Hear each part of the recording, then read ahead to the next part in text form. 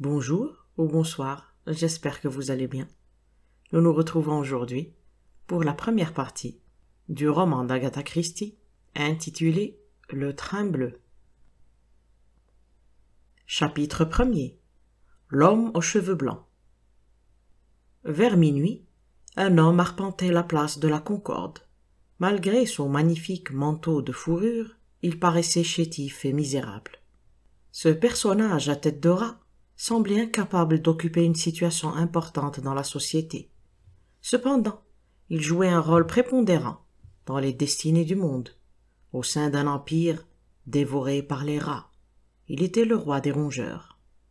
En ce moment même, dans une ambassade, on l'attendait. Mais certaines affaires personnelles réclamaient d'abord des soins, affaires ignorées de son ambassade, du moins officiellement. Les rayons lunaires éclairaient son visage pâle et faisaient ressortir la ligne légèrement courbée de son nez. Son père, un Polonais modeste, ouvrier tailleur, eut certainement rempli avec joie la mission qui, cette nuit, amenait son fils à Paris. L'étranger traversa la Seine, longea les quais et s'engagea dans un des quartiers les plus malfamés de Paris. Il s'arrêta devant une grande maison, délabrée, et monta l'escalier jusqu'au quatrième étage. À peine eut-il frappé que la porte s'ouvrit et une femme apparut sur le seuil. De toute évidence, elle l'attendait.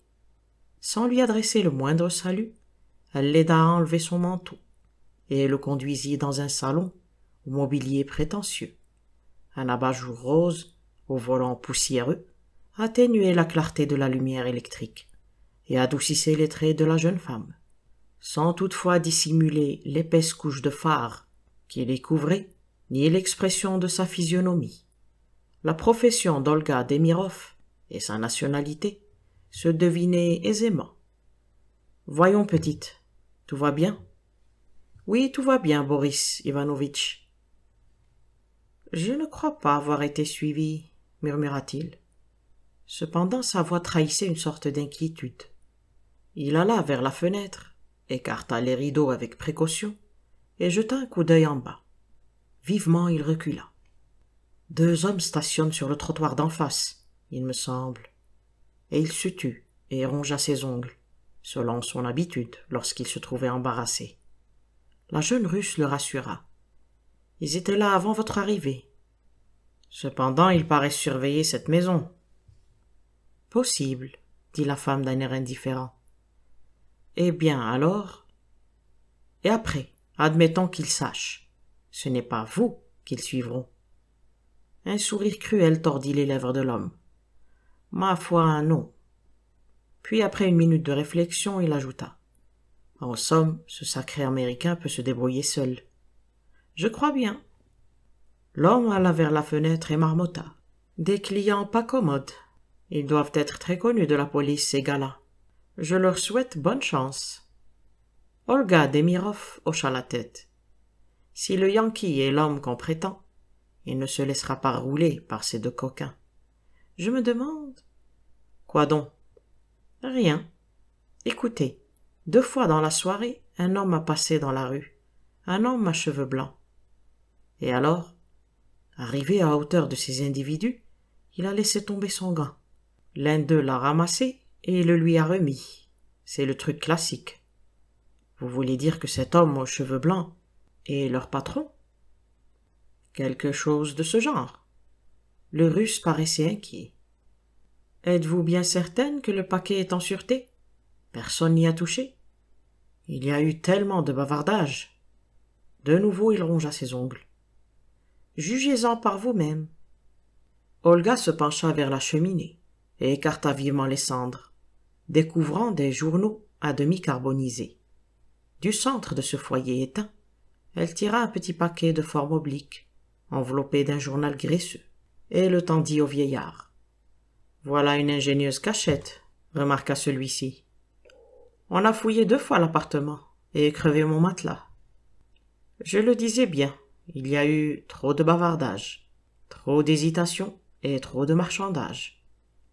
Il déploya le journal au milieu duquel se trouvait un écrin enveloppé de papier brun. Il en vérifia le contenu et rapidement refit le paquet. À cet instant, le timbre de la porte sonna. L'Américain est ponctuel, remarqua Olga, en jetant un coup d'œil à la pendule. Elle sortit de la pièce, et une minute après introduisit un visiteur, un homme très grand, aux puissantes épaules, de toute évidence un Américain. Son regard vif allait de l'un à l'autre. Monsieur Krasnin?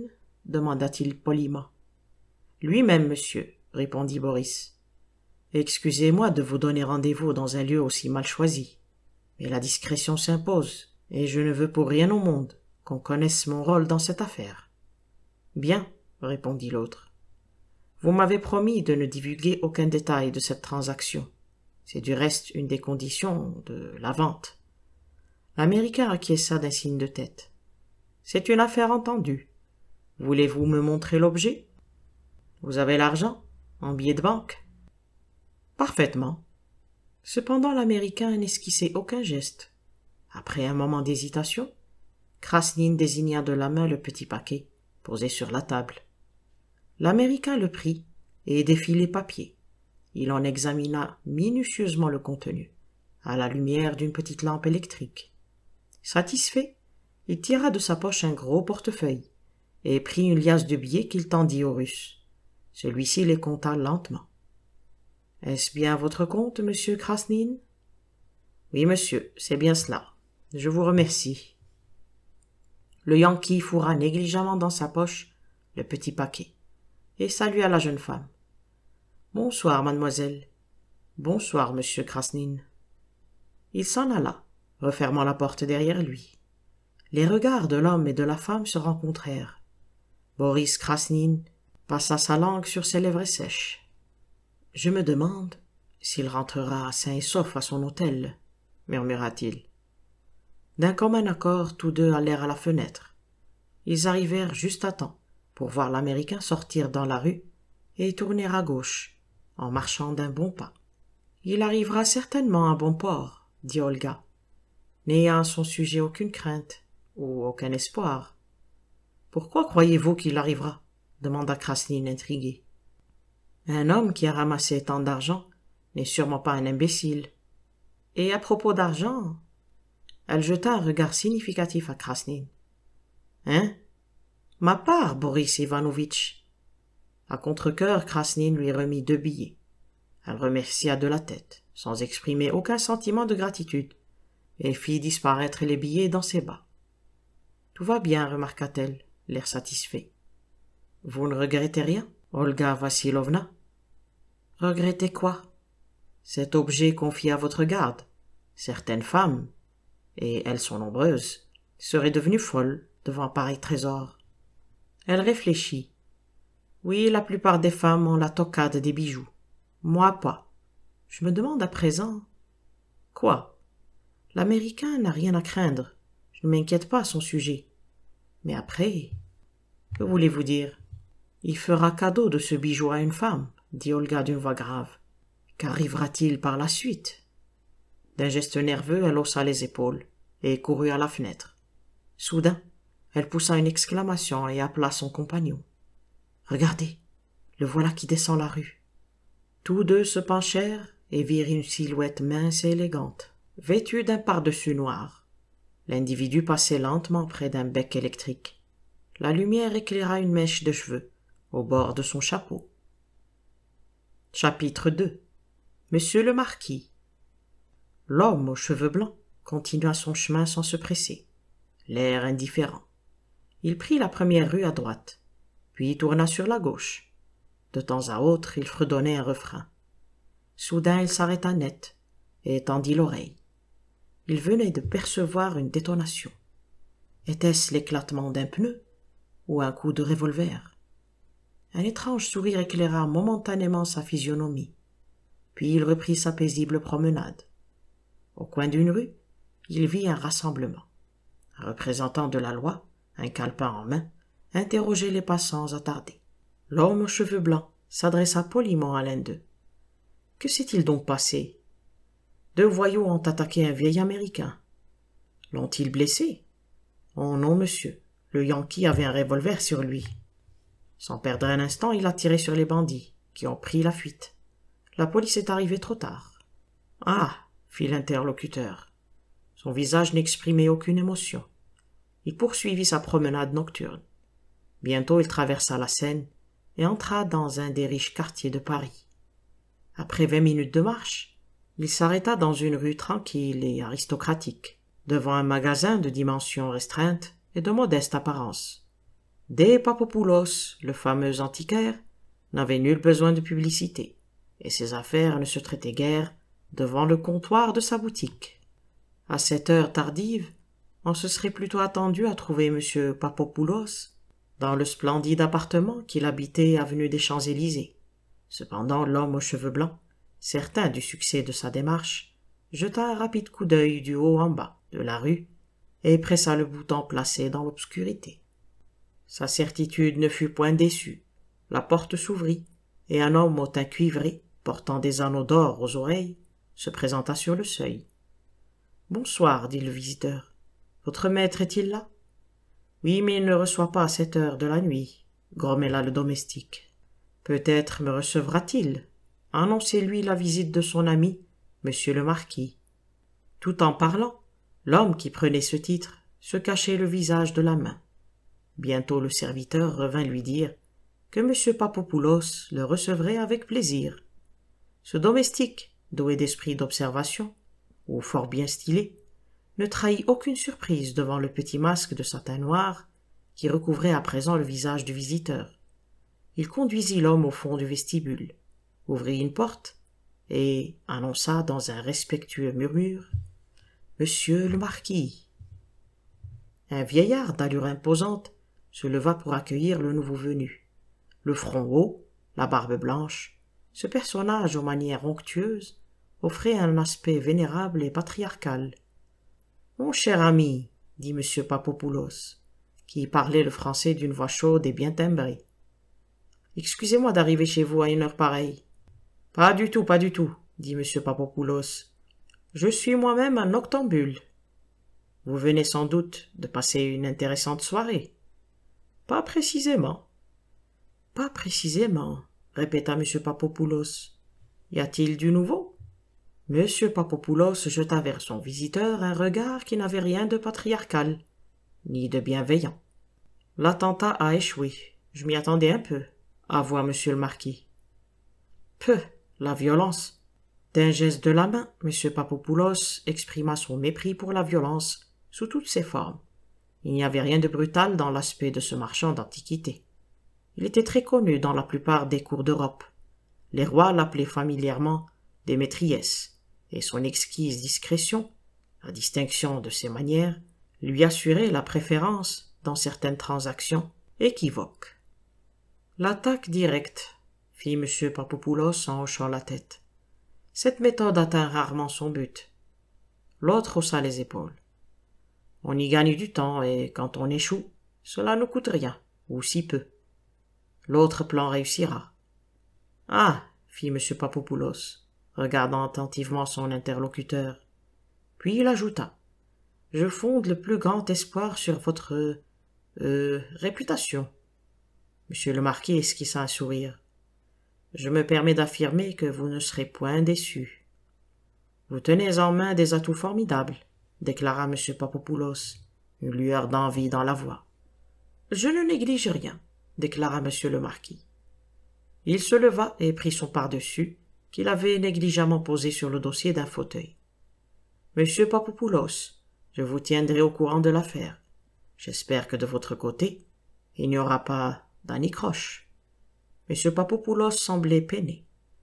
De mon côté, tout ira bien, assura-t-il. L'autre sourit et sans proférer un mot d'adieu, il sortit, refermant la porte derrière lui. Pendant un moment, l'antiquaire demeura songeur, et caressa sa vénérable barbe blanche, puis il alla vers une porte qui s'ouvrait sur l'intérieur de la pièce. Lorsqu'il tourna la poignée, une jeune femme qui devait s'appuyer sur la porte, l'oreille tout contre la serrure, tomba en avant, la tête la première. Monsieur Papopoulos ne manifesta aucune surprise. Eh bien, Zia demanda-t-il. Je ne l'ai pas entendu partir, expliqua Zia. Grande et bâtie comme une Junon, avec des yeux noirs pleins de flammes, elle ressemblait tant à M. Papopoulos qu'on devinait tout de suite leur lien de parenté. C'est ennuyeux qu'on ne puisse voir à travers la serrure et écouter en même temps, remarqua-t-elle vexée. J'ai moi-même plus d'une fois éprouvé cet ennui, avoua M. Papopoulos avec une grande simplicité. Ainsi, c'était M. le marquis, père. Porte-t-il toujours un masque? Oui, toujours. Il eut une pause. Il vient sans doute pour les rubis? Oui. Que penses-tu de lui, ma chère enfant? demanda l'autre, un regard amusé dans ses yeux de jet.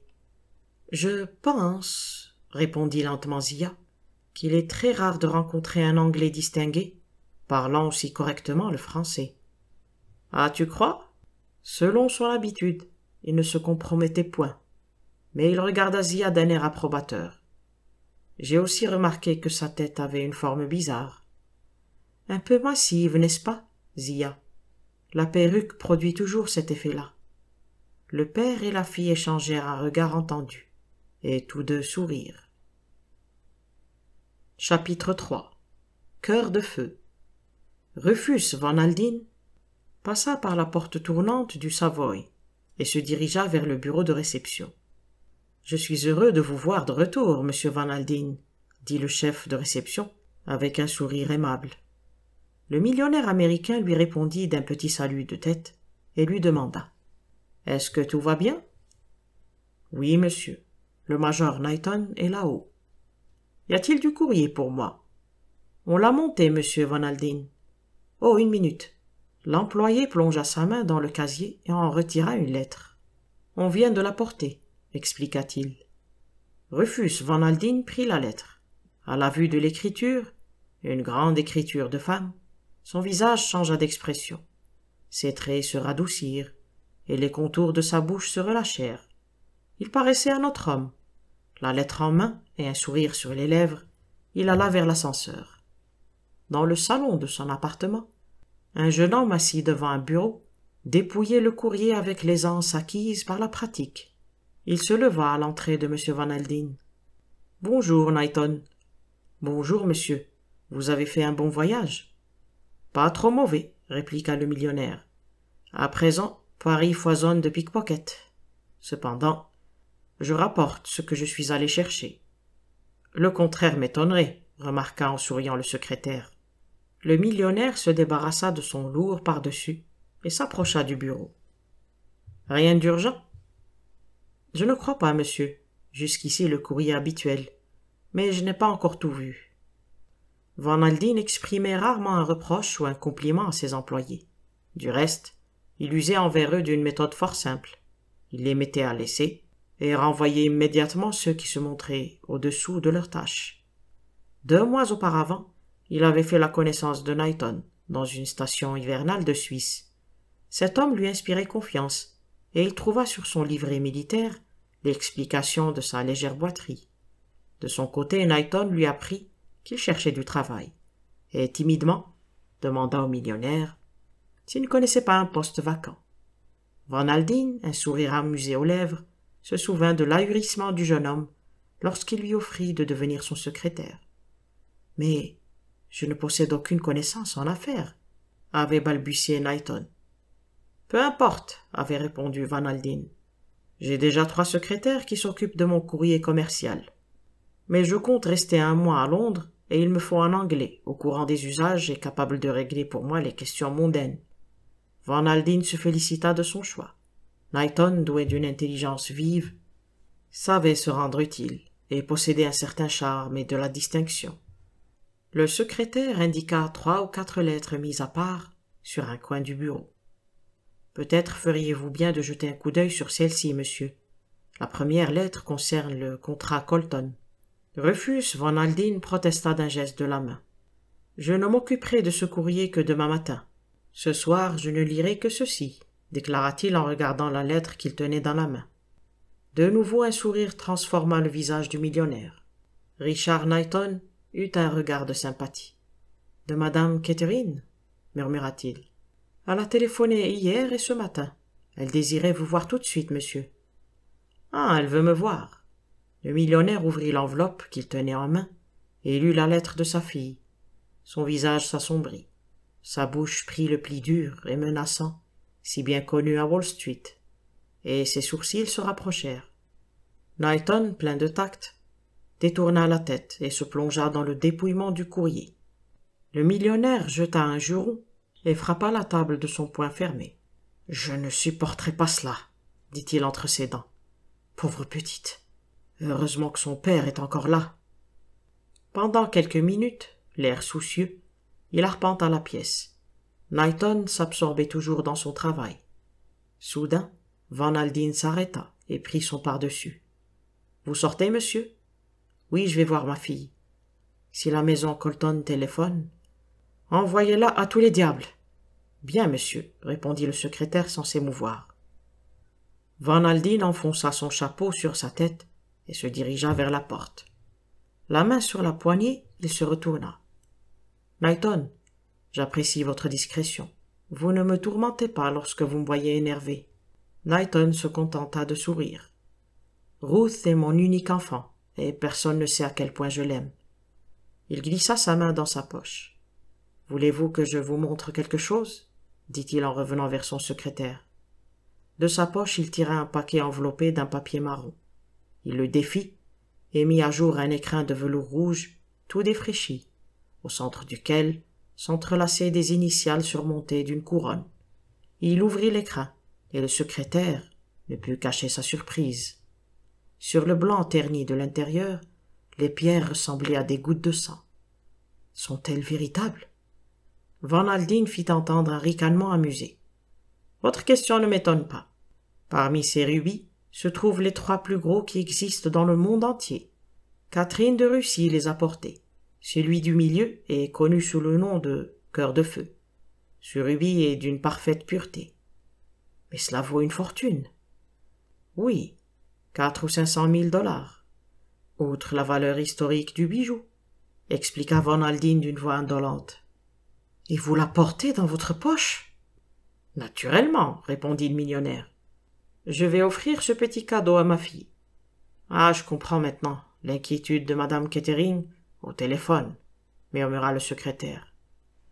Van Aldine secoua la tête et son visage reprit une expression sévère. Vous faites erreur. Elle ne sait pas que je rapporte ce collier. Je lui réserve cette surprise. Refermant l'écran, il refit le paquet. On n'en fait jamais trop pour ce qu'on aime, Knighton. Si Ruth m'en manifestait le désir, je lui offrirai une partie de la terre. Je puis lui mettre ce joyau autour du cou et lui procurer quelques moments de joie. Mais il hocha tristement la tête. Quand une femme n'est pas heureuse dans son foyer. Il n'acheva pas sa phrase. Le secrétaire fit un petit signe de la tête. Mieux que personne, il connaissait la réputation de l'honorable Derek Kettering. Van Aldine poussa un soupir. Il remit le paquet dans la poche de son par-dessus, salua Knighton et sortit. Chapitre 4 Curzon Street L'honorable madame Derek Kettering vivait dans Curzon Street. Le domestique qui ouvrit la porte reconnut Rufus Van Aldine et lui adressa un respectueux sourire de bienvenue. Il conduisit l'Américain dans le grand salon du premier étage. Une femme assise près de la fenêtre se leva en poussant un cri de surprise. Oh, papa, que je suis contente de te voir. J'ai téléphoné toute la journée à M. Knighton pour essayer de te parler. Mais il ne savait pas au juste quand tu arriverais. Ruth Kettering avait vingt-huit ans. Sans être belle, ni même jolie au sens ordinaire du mot, elle arrêtait les regards à cause de la couleur de sa chevelure et de la délicatesse de son teint. Autrefois on surnommait Van Aldine le rouquin au poil de carotte, et les cheveux de Ruth étaient d'une rare nuance châtain clair. Ses yeux sombres aux longs cils noirs, sa taille souple et élancée, lui donnaient l'air d'une Madone de Raphaël au premier coup d'œil. Mais en la considérant longuement, on remarquait que la ligne du menton et de la mâchoire ressemblait fort à celle de Van Aldine et trahissait une volonté inflexible. Si cette dureté du bas du visage convenait à un homme, elle n'était point faite pour embellir une femme. Dès sa plus tendre enfance, Ruth Van Alding avait agi suivant sa fantaisie, et ceux qui avaient essayé de contrecarrer ses projets, s'était vite aperçu que la fille de Rufus Van Alding ne cédait jamais. Knighton m'a dit que tu lui avais téléphoné, dit Van Alding. J'arrive de Paris il y a à peine une demi-heure. Que signifie cette histoire au sujet de Derek? La figure de Ruth Kettering s'empourpra de colère. Il dépasse les bornes. Il ne veut plus m'écouter, s'écria-t-elle d'une voix où l'on sentait l'étonnement aussi bien que la fureur. Je te certifie qu'il m'écoutera, moi, dit le millionnaire. Je le vois à peine depuis un mois. Il s'exhibe partout avec cette femme. Quelle femme? Mireille, tu sais bien, la danseuse du Parthénon. La semaine dernière, j'ai été voir Lord Lockenberry. Il s'est montré très aimable et m'a promis de faire la leçon à Derek. Ah.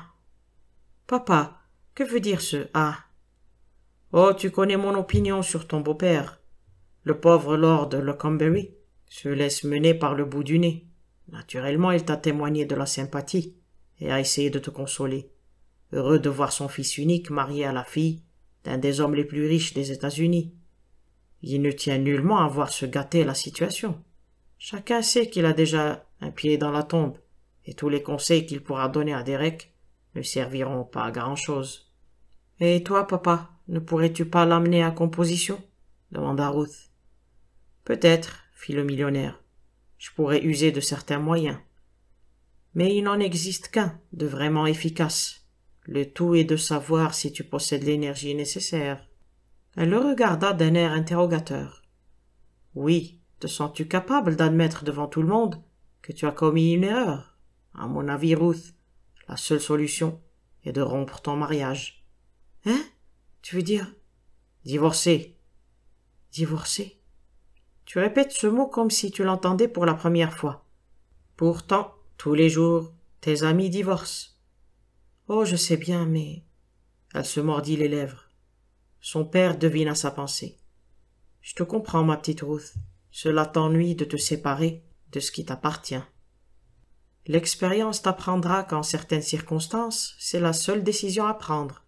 Évidemment, je trouverai trente-six façons de rappeler ton mari à ses devoirs. Je n'ai qu'à siffler, et il vient se coucher à tes pieds comme un chien. À quoi cela servirait-il? C'est un débauché, impropre à rien. Je me repens d'avoir consenti à ce mariage. Ton choix semblait irrévocable et je croyais à ses bonnes résolutions. Et puis, je t'avais déjà contrarié une première fois. Il prononça ces dernières paroles sans regarder sa fille. S'il l'avait observée, il aurait vu une rougeur subite monter à ses joues. Je m'en souviens assez, dit-elle d'une voix sèche. Je ne me sentais pas la force de te contrecarrer une seconde fois. Maintenant je le regrette. Tu as beaucoup souffert durant ces dernières années, ma petite Ruth. L'existence n'a pas été très agréable, acquiesça madame Kettering. C'est pourquoi il faut en finir, déclara le père en frappant la table de son poing. Peut-être te restait-il un peu d'amour pour cet homme. Essaie d'oublier. Affronte carrément la réalité. Derek Kettering t'a épousé pour ton argent. Reprends ta liberté, Ruth. Elle regardait à terre et dit, sans relever la tête, et s'il ne voulait pas me la rendre? Van Aldine demeura étonné. Il n'aura pas la parole dans cette affaire. La jeune femme rougit. Non, évidemment. Je voulais dire. Elle s'arrêta. Son père l'observait avec insistance. Que disais-tu? Ruth choisit ses mots pour répondre. Peut-être n'acceptera-t-il pas cette solution aussi aisément que tu le crois. Le menton du millionnaire s'avança. Qu'il se défende s'il peut. Mais là tu te trompes, il n'en fera rien. Tous les hommes de loi lui diront qu'il a perdu d'avance. Par pure méchanceté contre moi, il pourrait mettre des bâtons dans les roues. Son père hocha la tête. Il lui faudra produire une raison valable. Madame Kettering ne répondit rien. Voyons, Ruth, as-tu des ennuis? Raconte-moi ça. Ce n'est rien, papa. Rien du tout, répondit-elle d'une voix mal assurée. Tu redoutes la publicité, n'est-ce pas? Laisse-moi agir. Je m'y prendrai de telle façon que tout marchera comme sur des roulettes. Bon, papa, si réellement tu crois que c'est le meilleur parti à prendre. Tu l'aimes toujours, Ruth? Non, je ne l'aime plus. Ces mots prononcés d'une voix calme rassurèrent Van Alding. Il donna à sa fille une tape affectueuse sur l'épaule. Tout se passera bien, ma petite. Ne te tourmente plus. Laissons cela de côté et parlons d'autre chose. Je t'apporte un joli souvenir de Paris. Joli? J'espère, du moins, que tu le trouveras à ton goût. Il lui tendit le petit paquet. Elle le développa précipitamment et ouvrit le coffret. Une longue exclamation s'échappa de ses lèvres. Ruth Kettering adorait les bijoux. Oh papa, quelle merveille. Ils sortent de l'ordinaire, hein dit le millionnaire tout heureux de la joie de sa fille. Ce bijou te plaît? S'il me plaît. Ces rubis sont admirables. Où les as-tu achetés, papa? Ah, ça, c'est mon secret. J'ai dû me les faire apporter en cachette, naturellement. Ce collier est connu. Regarde la pierre du milieu. Peut-être en as-tu entendu parler. C'est un joyau historique, le cœur de feu. Elle enleva le collier de son écrin et le posa sur sa poitrine. Le millionnaire l'observait tout en songeant aux autres femmes qui avaient porté ce joyau. Cœur de feu, comme tous les bijoux fameux, entraînait à sa suite tout un cortège de meurtres et de violences, de jalousie et de désespoir. Dans la main de Ruth Kettering, il semblait perdre toute malignité. Cette femme de l'Occident, calme et décidée, semblait à l'abri des tragédies passionnelles. Ruth replaça le collier dans l'écrin et, rayonnante de joie, sauta au cou de son père. Merci, mille fois merci, papa. Ces pierres sont magnifiques. Tu m'offres toujours de merveilleux présents. Tant mieux si ce bijou te fait plaisir, ma petite Ruth. Je n'ai plus que toi à choyer. Tu dînes avec moi, n'est-ce pas, papa Impossible. Tu te disposes à sortir, il me semble. Oui, mais je puis facilement remettre ce rendez-vous. Rien de bien agréable du reste. Sors puisque tu en avais l'intention. J'ai moi-même beaucoup à faire ce soir. Je te reverrai demain. Si je te téléphonais, tu pourrais répondre chez Galbraith. Messieurs Galbraith, Cuthbertson étaient les avoués de Van Aldine à Londres. Bien, papa. Puis, après une seconde d'hésitation, elle ajouta. Tout cela ne m'empêchera pas, sans doute, de partir pour la Riviera. Quand pars-tu? Le 14. Tu peux t'en aller tranquille. Ces sortes d'affaires traînent souvent en longueur. Écoute, Ruth. À ta place, je ne porterai pas ces rubis en voyage. Dépose-les à la banque. Madame Kettering acquiesça de la tête.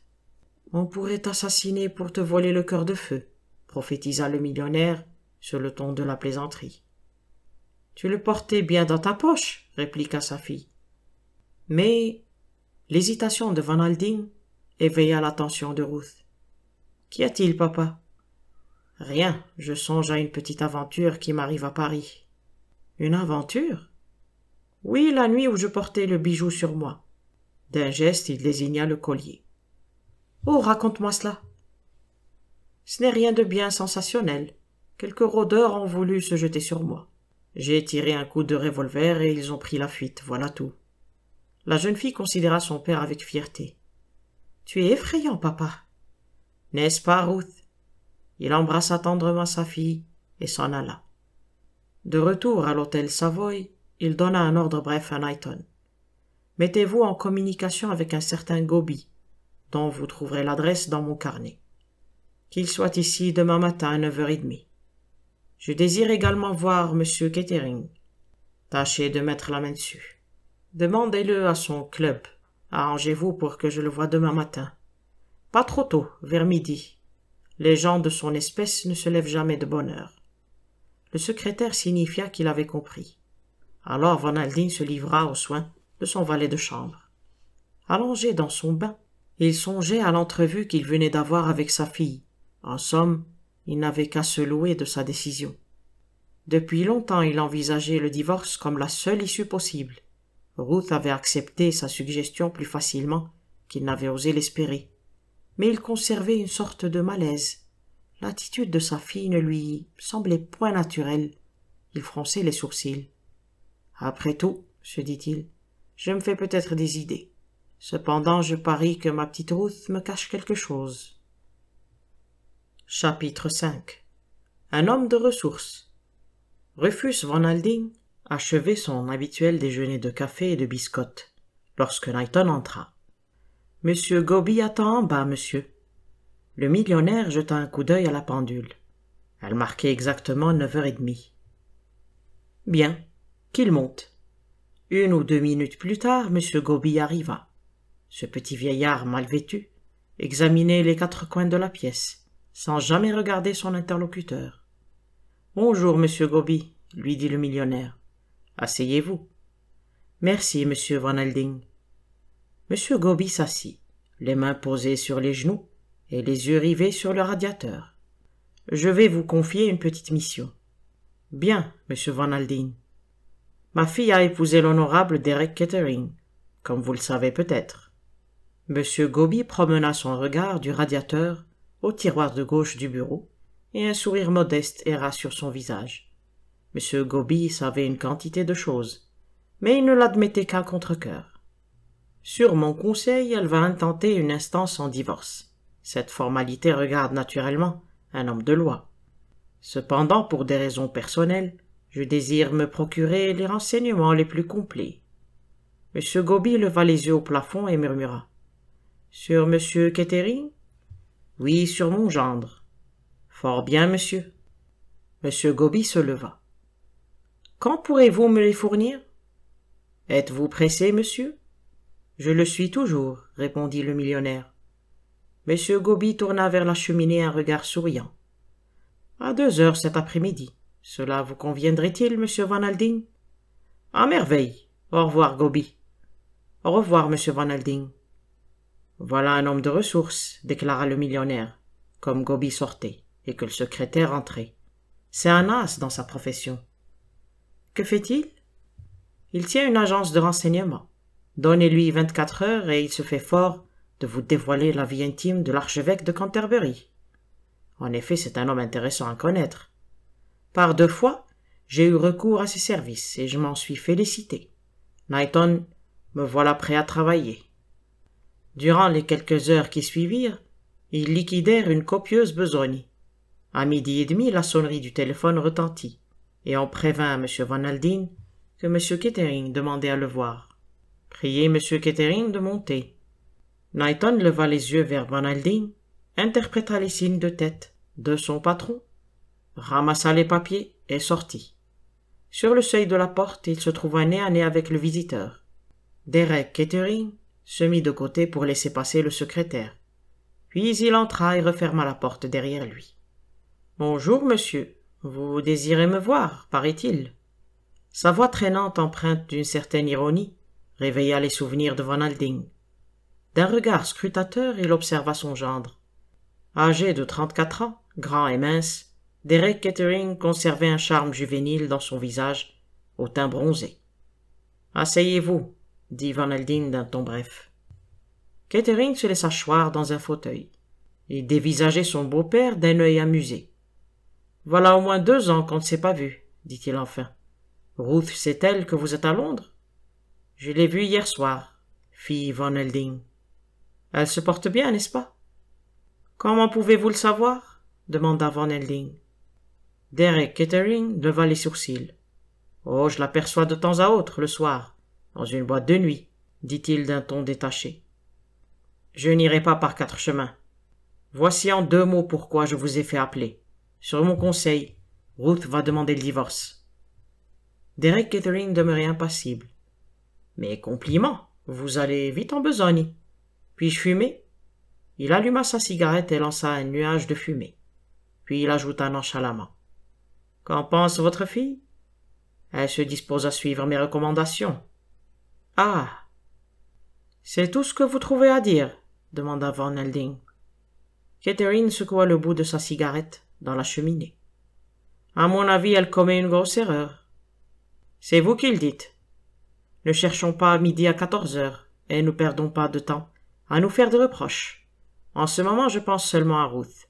Comme vous le savez, mon pauvre vieux père n'en a plus pour longtemps, selon l'opinion de tous ses médecins. Que votre fille patiente encore deux ans, et je serai Lord Lockenberry. Elle deviendra la châtelaine de Lockenberry, ce pourquoi elle m'a épousé. Trêve de vos insolences, rugit Van Alding. Derek Kettering sourit sans s'émouvoir. D'accord, mon idée semble désuète. De nos jours, les titres ne comptent plus. Toutefois, Lockenberry est un vieux domaine charmant, et nous sommes une des familles les plus anciennes d'Angleterre. Peut-être un jour Ruth se mordra-t-elle les doigts en apprenant qu'une autre femme règne à sa place à Lockenberry. Je parle sérieusement, jeune homme. Moi aussi. Pour l'instant, mes finances sont très mal en point, et le divorce me jetterait dans un terrible embarras. Après avoir attendu dix années, pourquoi Ruth n'attendrait-elle pas encore plus longtemps? Ma parole d'honneur, le vieux lord ne peut durer plus de dix-huit mois. Et comme je vous le disais tout à l'heure, ce serait dommage que Ruth n'obtint pas le titre pour lequel elle m'a épousé. Vous prétendez que ma fille vous a épousé pour votre rang social? Derek Catherine fit entendre un rire où l'on découvrait autre chose que de l'amusement. Vous ne pensez pas que ce fut un mariage d'amour? Vous parliez un langage tout différent il y a dix ans à Paris, remarqua Van Halding. Vraiment, cela se peut. Ruth était très jolie, elle ressemblait à un ange, ou à une sainte descendue d'un vitrail. À cette époque, je prenais moi-même la noble résolution de changer de conduite et de vivre selon les principes traditionnels de la famille anglaise, auprès d'une épouse délicieuse. Sans doute n'avez-vous jamais pris ma promesse au sérieux, dit-il en éclatant de rire. Vous avez épousé ma fille pour son argent. Voilà ce qu'il y a de plus clair. Et elle m'aurait épousé par amour? demanda Derek avec ironie. Vous osez en douter? Derek Kettering observa son beau-père pendant une minute ou deux. Puis il hocha la tête d'un air pensif. Ainsi vous le croyez toujours. Moi aussi je l'ai cru. Sachez, mon cher beau-père, que je n'ai pas gardé longtemps mes illusions. Je ne sais pas où vous voulez en venir, dit Van Halding, et je n'ai pas envie de le savoir. Vous avez traité Ruth de façon indigne. Je l'admets, acquiesça Kettering. Mais elle n'est pas commode non plus. Ruth a de qui tenir. Sous une apparente douceur, elle cache un cœur de pierre. Vous avez la réputation d'un homme dur, mais votre fille est encore plus cruelle que vous. Vous, tout au moins, vous aimez quelqu'un plus que vous-même. Ruth ne pense qu'à elle. Il suffit. Je voulais simplement vous faire part de mes projets. Ma fille a le droit au bonheur, et sachez que je la soutiendrai par tous les moyens. Derek Kettering se leva et s'appuya contre le marbre de la cheminée. Il jeta sa cigarette dans le foyer et parla d'une voix très calme. En somme, que désirez-vous de moi au juste? Que vous n'essayez pas de défendre votre cause. Cela vaudra mieux pour vous. Oh. Est-ce une menace? Prenez-le comme il vous plaira. Kettering approcha une chaise de la table et s'assit en face du millionnaire. Et si, par amour de la chicane, je voulais me défendre? Van Aldine haussa les épaules. Il faudrait pouvoir le faire, jeune fou que vous êtes. Consultez vos hommes de loi, et ils vous diront tous comme moi. Votre conduite défraie les conversations de tout Londres. Ruth vous a sans doute bâti une histoire à propos de Mireille. Ce n'est guère adroit de sa part. Je ne me mêle pas de ses amis, moi. Qu'insinuez-vous? Derek Kettering éclata de rire. Je vois que vous ignorez beaucoup de choses, monsieur. Naturellement, vous avez l'esprit prévenu contre moi. Il prit son chapeau et sa canne, puis se dirigea vers la porte. Je n'ai point par habitude de donner des conseils, déclara-t-il avant de partir. Toutefois, dans cette affaire, une entière franchise entre vous et votre fille me paraît recommandable. Il quitta précipitamment la pièce et referma la porte au moment où le millionnaire bondissait pour le rattraper. Je me demande ce qu'il a voulu me laisser entendre dit Van Halding en se rasseyant. Toute son inquiétude revenait. Décidément, on lui cachait quelque chose. Le téléphone se trouvait à côté de lui. Il saisit le récepteur et demanda le numéro de sa fille. Allô, allô? Mayfair 81907 Madame Catherine est là? Oh, elle est sortie. Elle déjeune en ville? À quelle heure rentrera-t-elle? Vous ne savez pas? Bon. D'un geste de dépit, il raccrocha l'appareil. À deux heures, il arpentait sa chambre en attendant Gobi. À deux heures dix, celui-ci se présenta. Eh bien, hurla le millionnaire. Le petit monsieur Gobi n'aimait pas qu'on le bousculât. Il s'assit devant la table et tira de sa poche un calepin crasseux, où il se mit à lire d'une voix monotone. Le millionnaire l'écouta attentivement, l'air satisfait. Gobi, sa lecture terminée, fouilla des yeux la corbeille à papier. Tout a été vérifié, dit M. Gobi, le regard fixé sur un fauteuil de bois doré. À court d'argent, il essaye de lever un emprunt, dites-vous Il a déjà engagé l'héritage paternel. Une fois la nouvelle du divorce répandue, il ne trouvera pas un centime. Nous le tenons, Gobi. Il ne peut nous échapper. D'un air triomphant, il frappa un coup de poing sur la table. Les renseignements vous paraissent-ils satisfaisants? dit timidement M. Gobi. Oui, je vous remercie, monsieur Gobi. Voilà du bon travail. Un pâle sourire de gratitude éclaira la face du petit bonhomme. Merci, monsieur Van Elding. Je fais toujours de mon mieux. Van Elding se décida à aller voir sa fille. Mais avant de se rendre à Curzon Street, il fit deux visites intéressantes, à son point de vue. Van Aldine marchait dans Curzon Street lorsqu'un homme sortit du numéro 160, remonta la rue et le croisa sur le trottoir. Tout d'abord, le millionnaire crut reconnaître Derek Kettering. Il avait à peu près la même taille et la même allure. Mais lorsque l'autre passa près de lui, il s'aperçut de son erreur. Cependant, le visage de cet individu éveillait dans l'esprit de Van Alding un souvenir. Il ne retrouvait pas l'identité de cet homme, qui venait de chez sa fille. Furieux de cette absence de mémoire, il secouait nerveusement la tête. Ruth Kettering attendait son père. Dès qu'il entra, elle courut vers lui et l'embrassa. Eh bien, papa, quoi de nouveau? Tout va bien. Je voudrais seulement te dire quelques mots. Un changement se produisit dans l'attitude de Ruth. Une certaine réserve remplaça presque insensiblement la chaleureuse spontanéité de la minute précédente. Elle s'assit dans un grand fauteuil. J'ai vu ton mari ce matin. Tu as parlé à Derek? Oui, il m'a débité un tas d'insolence. Au moment de partir, il a ajouté quelque chose que je n'ai pas compris. Il m'a dit qu'une entière franchise entre toi et moi semblait indispensable en cette affaire. Qu'entendait-il par là, Ruth? Madame Kettering s'agita dans son fauteuil. Comment veux-tu que je le sache, papa? Mais si tu le sais. Il a fait allusion à tes amis. Qu'insinuait-il? Explique-le-moi, Ruth. Écoute, ma fille, je ne veux pas me lancer dans cette histoire de divorce les yeux fermés. Cela ne m'étonnerait pas de voir ton mari provoquer un scandale. Pour l'instant, je puis le réduire au silence. Mais je veux savoir s'il est indispensable d'employer les grands moyens. Que signifie cette allusion? Madame Catherine haussa les épaules. Je possède un tas d'amis, et je ne vois pas ce qu'il peut y trouver à redire. Si, tu le sais. Il parlait à présent sur le même ton dont il discutait d'affaires avec un concurrent. Réponds simplement à cette question. Qui est cet homme? Quel homme? Celui dont parlait Derek, un de tes amis. Voyons, ma chérie, ne t'effraie pas. Je sais bien que ce sont des racontards, mais il faut tout prévoir si on s'adresse aux tribunaux. Je veux savoir qui est cet homme et quel est votre degré d'intimité. Ruth ne répondit pas. Ses mains se tordaient nerveusement. Voyons, ma petite chérie, dit Van Aldine d'une voix plus douce. Aie confiance en ton papa. Je n'ai jamais été bien sévère, pas même cette fois, à Paris. Il s'arrêta net, puis il murmura. J'y suis à présent. Il me semble savoir de qui il s'agit. Je ne comprends pas. Le millionnaire traversa la pièce à grandes enjambées et saisit sa fille par le poignet.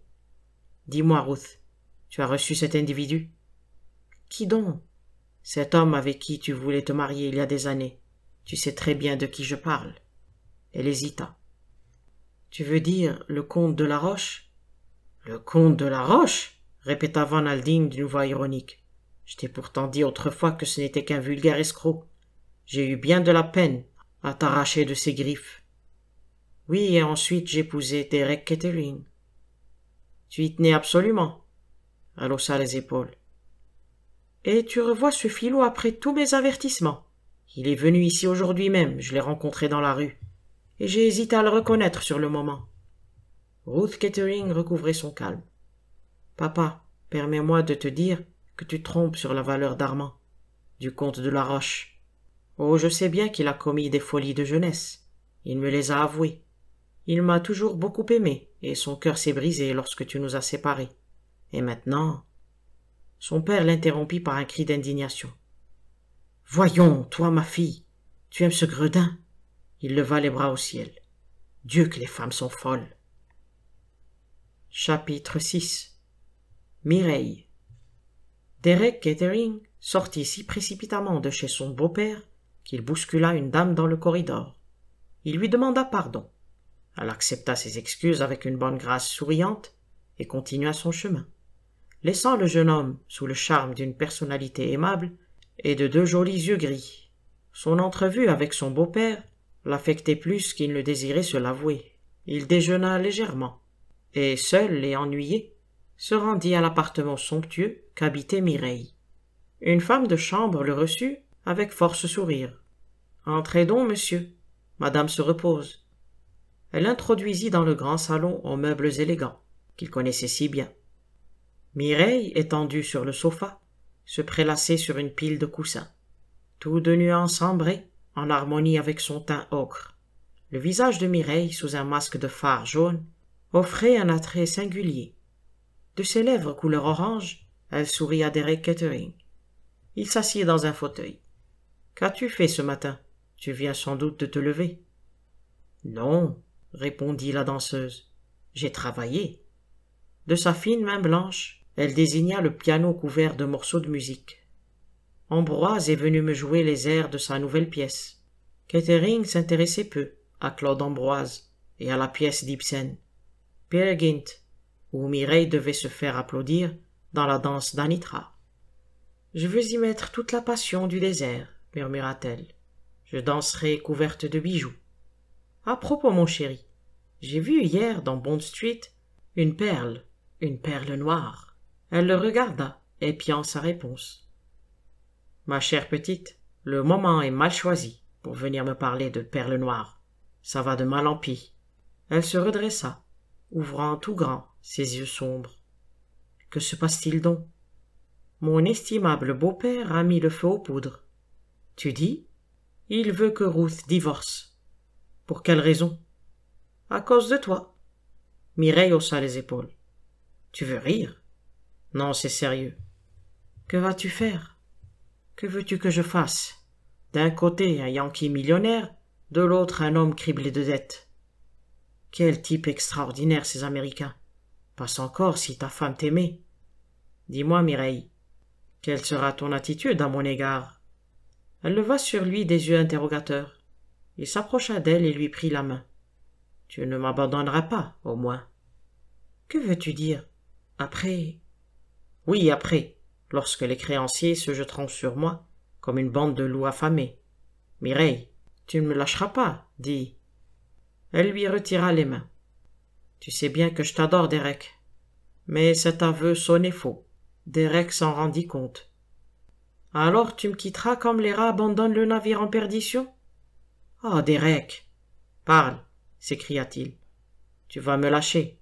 Réponds-moi. Elle haussa les épaules. Je t'aime, mon ami, je t'aime beaucoup. Tu es un homme charmant, un beau garçon, mais pas pratique pour un sou. Allons donc, tu n'aimes que les gens matelassés de billets de banque. Elle sourit. Je t'aime tout de même bien, Derek. Lui tournant le dos, le jeune homme regardait par la fenêtre. Bientôt la danseuse l'observa avec curiosité. À quoi penses-tu, mon ami? Par-dessus son épaule, il lui lança un sourire étrange. Je pensais justement à une femme. Ah. Tu pensais à une autre femme, n'est-ce pas? Ne te tourmente pas, ce n'est qu'une vision. Portrait d'une dame aux yeux gris. Quand l'as-tu rencontrée? Derek Kettering fit entendre un rire ironique. Je me suis heurté à cette personne dans le corridor de l'hôtel Savoy. Et qu'a-t-elle dit? Autant que je me le rappelle, je lui ai dit pardon, et elle m'a répondu Il n'y a pas de mal quelque chose d'approchant. Et ensuite, insista la danseuse, image d'une femme aux yeux gris, murmura Derek. Heureusement que nous ne nous reverrons plus. Pourquoi? Elle me porterait la guinée, comme toutes les femmes. Mireille se leva vivement. Tu es stupide, Derek. Je t'adore, mais je ne puis accepter la pauvreté. Non, décidément, je ne saurais pas me contenter d'une existence médiocre. Écoute-moi. Il faut que tu te remettes d'accord avec ta femme. Pour le moment, cela ne servirait à rien. Pourquoi donc? Van Aldine ne sera pas dupe. Il est de ces individus, une fois leur décision prise, vont droit au but. J'ai entendu parler de lui, dit la danseuse. Il est immensément riche, n'est-ce pas? Un des hommes les plus opulents d'Amérique. Voilà quelques jours, à Paris, il a acheté le plus beau rubis du monde, le cœur de feu. Kettering ne répondit point. La danseuse reprit. C'est un bijou magnifique, un joyau qui devrait appartenir à une femme comme moi. J'adore les bijoux, Derek. Ah, porter un rubis comme le cœur de feu. Elle poussa un petit soupir, puis redevint une femme pratique. Derek, tu ne peux pas comprendre ces choses. Tu n'es qu'un homme. Van Aldine offrira sans doute ce bijou à sa fille. Est-elle son unique enfant? Oui. Alors, quand il mourra, elle héritera de toute sa fortune. Elle sera riche. Elle l'est déjà, dit sèchement Derek. Il lui a donné deux millions de dollars le jour de son mariage. Deux millions? Si elle mourait subitement, tout cet argent te reviendrait? Actuellement, oui. Je ne pense pas qu'elle ait fait un testament. Mon Dieu! s'exclama la danseuse. Si elle mourait, cela arrangerait tout. Après un moment de pause, Derek éclata de rire. Ta façon ingénue de prévoir les circonstances est tout simplement admirable, Mireille. Mais je crains que ton désir ne se réalise pas de sitôt. Ma femme possède une santé excellente. Eh bien, et les accidents? Il la dévisagea sans répondre. Tu as raison, mon petit. Nous devons chercher autre chose que des éventualités. Le mieux est de ne plus parler de divorce. Il faut que ta femme abandonne cette idée.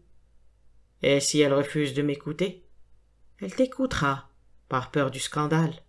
Tu sais une ou deux petites histoires qu'elle ne voudrait pas voir publiées dans les journaux. Que penseraient ses bonnes amies? Que veux-tu dire? Mireille, la tête rejetée en arrière, éclata de rire. Parbleu, il y a l'affaire du comte de la Roche. Je connais toute l'idylle. Souviens-toi que je suis parisienne. Avant de t'épouser, elle l'aimait, n'est-ce pas? Kettering prit la femme par les épaules. Tu mens. Je te prie de te souvenir qu'il s'agit de ma femme. Mireille se calma. Vous êtes extraordinaires, vous autres Anglais. Peut-être as-tu tout de même raison. Les Américains sont si froids, n'est-ce pas? Toutefois, permets-moi de te dire que ta femme était très amoureuse de cet homme avant de t'épouser. Son père est intervenu et a envoyé promener le comte. La petite Miss a obéi à son papa, en versant beaucoup de larmes. Tu admettras tout de même que maintenant, c'est différent.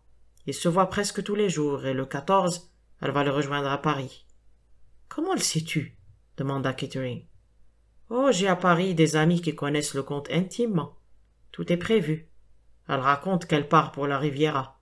Mais en réalité, ils vont se retrouver à Paris. Et qui sait? Crois-moi, tout est arrangé d'avance. Derek Kettering demeurait impassible. Si tu es adroit, ronronna la danseuse. Tu la tiens dans le creux de ta main. Tu peux la réduire à ta merci. Oh, pour l'amour de Dieu, tais-toi, langue de vipère. Mireille se jeta sur les coussins en riant. Kettering prit son chapeau et son pardessus et quitta l'appartement en faisant claquer la porte. Contente de la besogne qu'elle venait d'accomplir, la danseuse souriait toujours.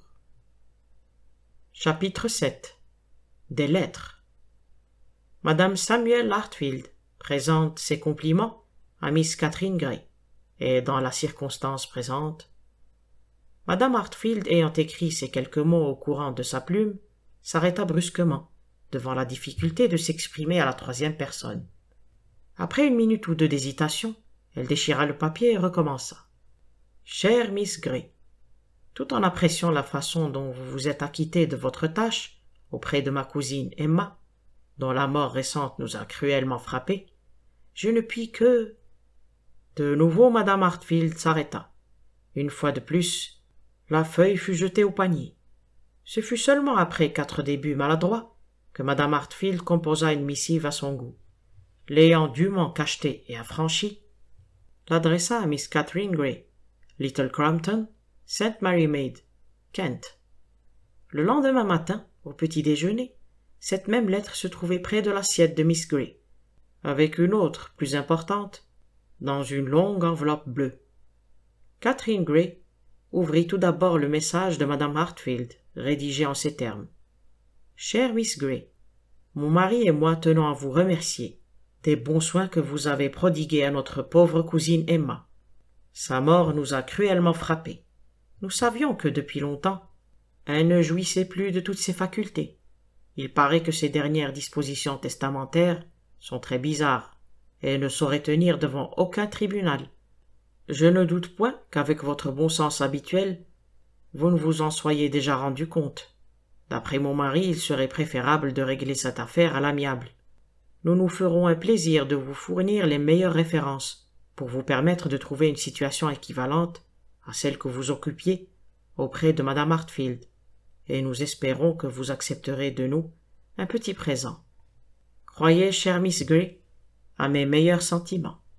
Mary Ann Hartfield. Catherine Gray lut ces lignes jusqu'au bout, puis recommença. Un sourire détendit les traits de son visage. Elle ouvrit l'enveloppe bleue. Ayant rapidement parcouru cette dernière lettre, elle la posa sur la table regarda devant elle. Cette fois, elle ne souriait plus. Il eût été difficile à un observateur de deviner les émotions qui se cachaient derrière ses yeux calmes et pensifs.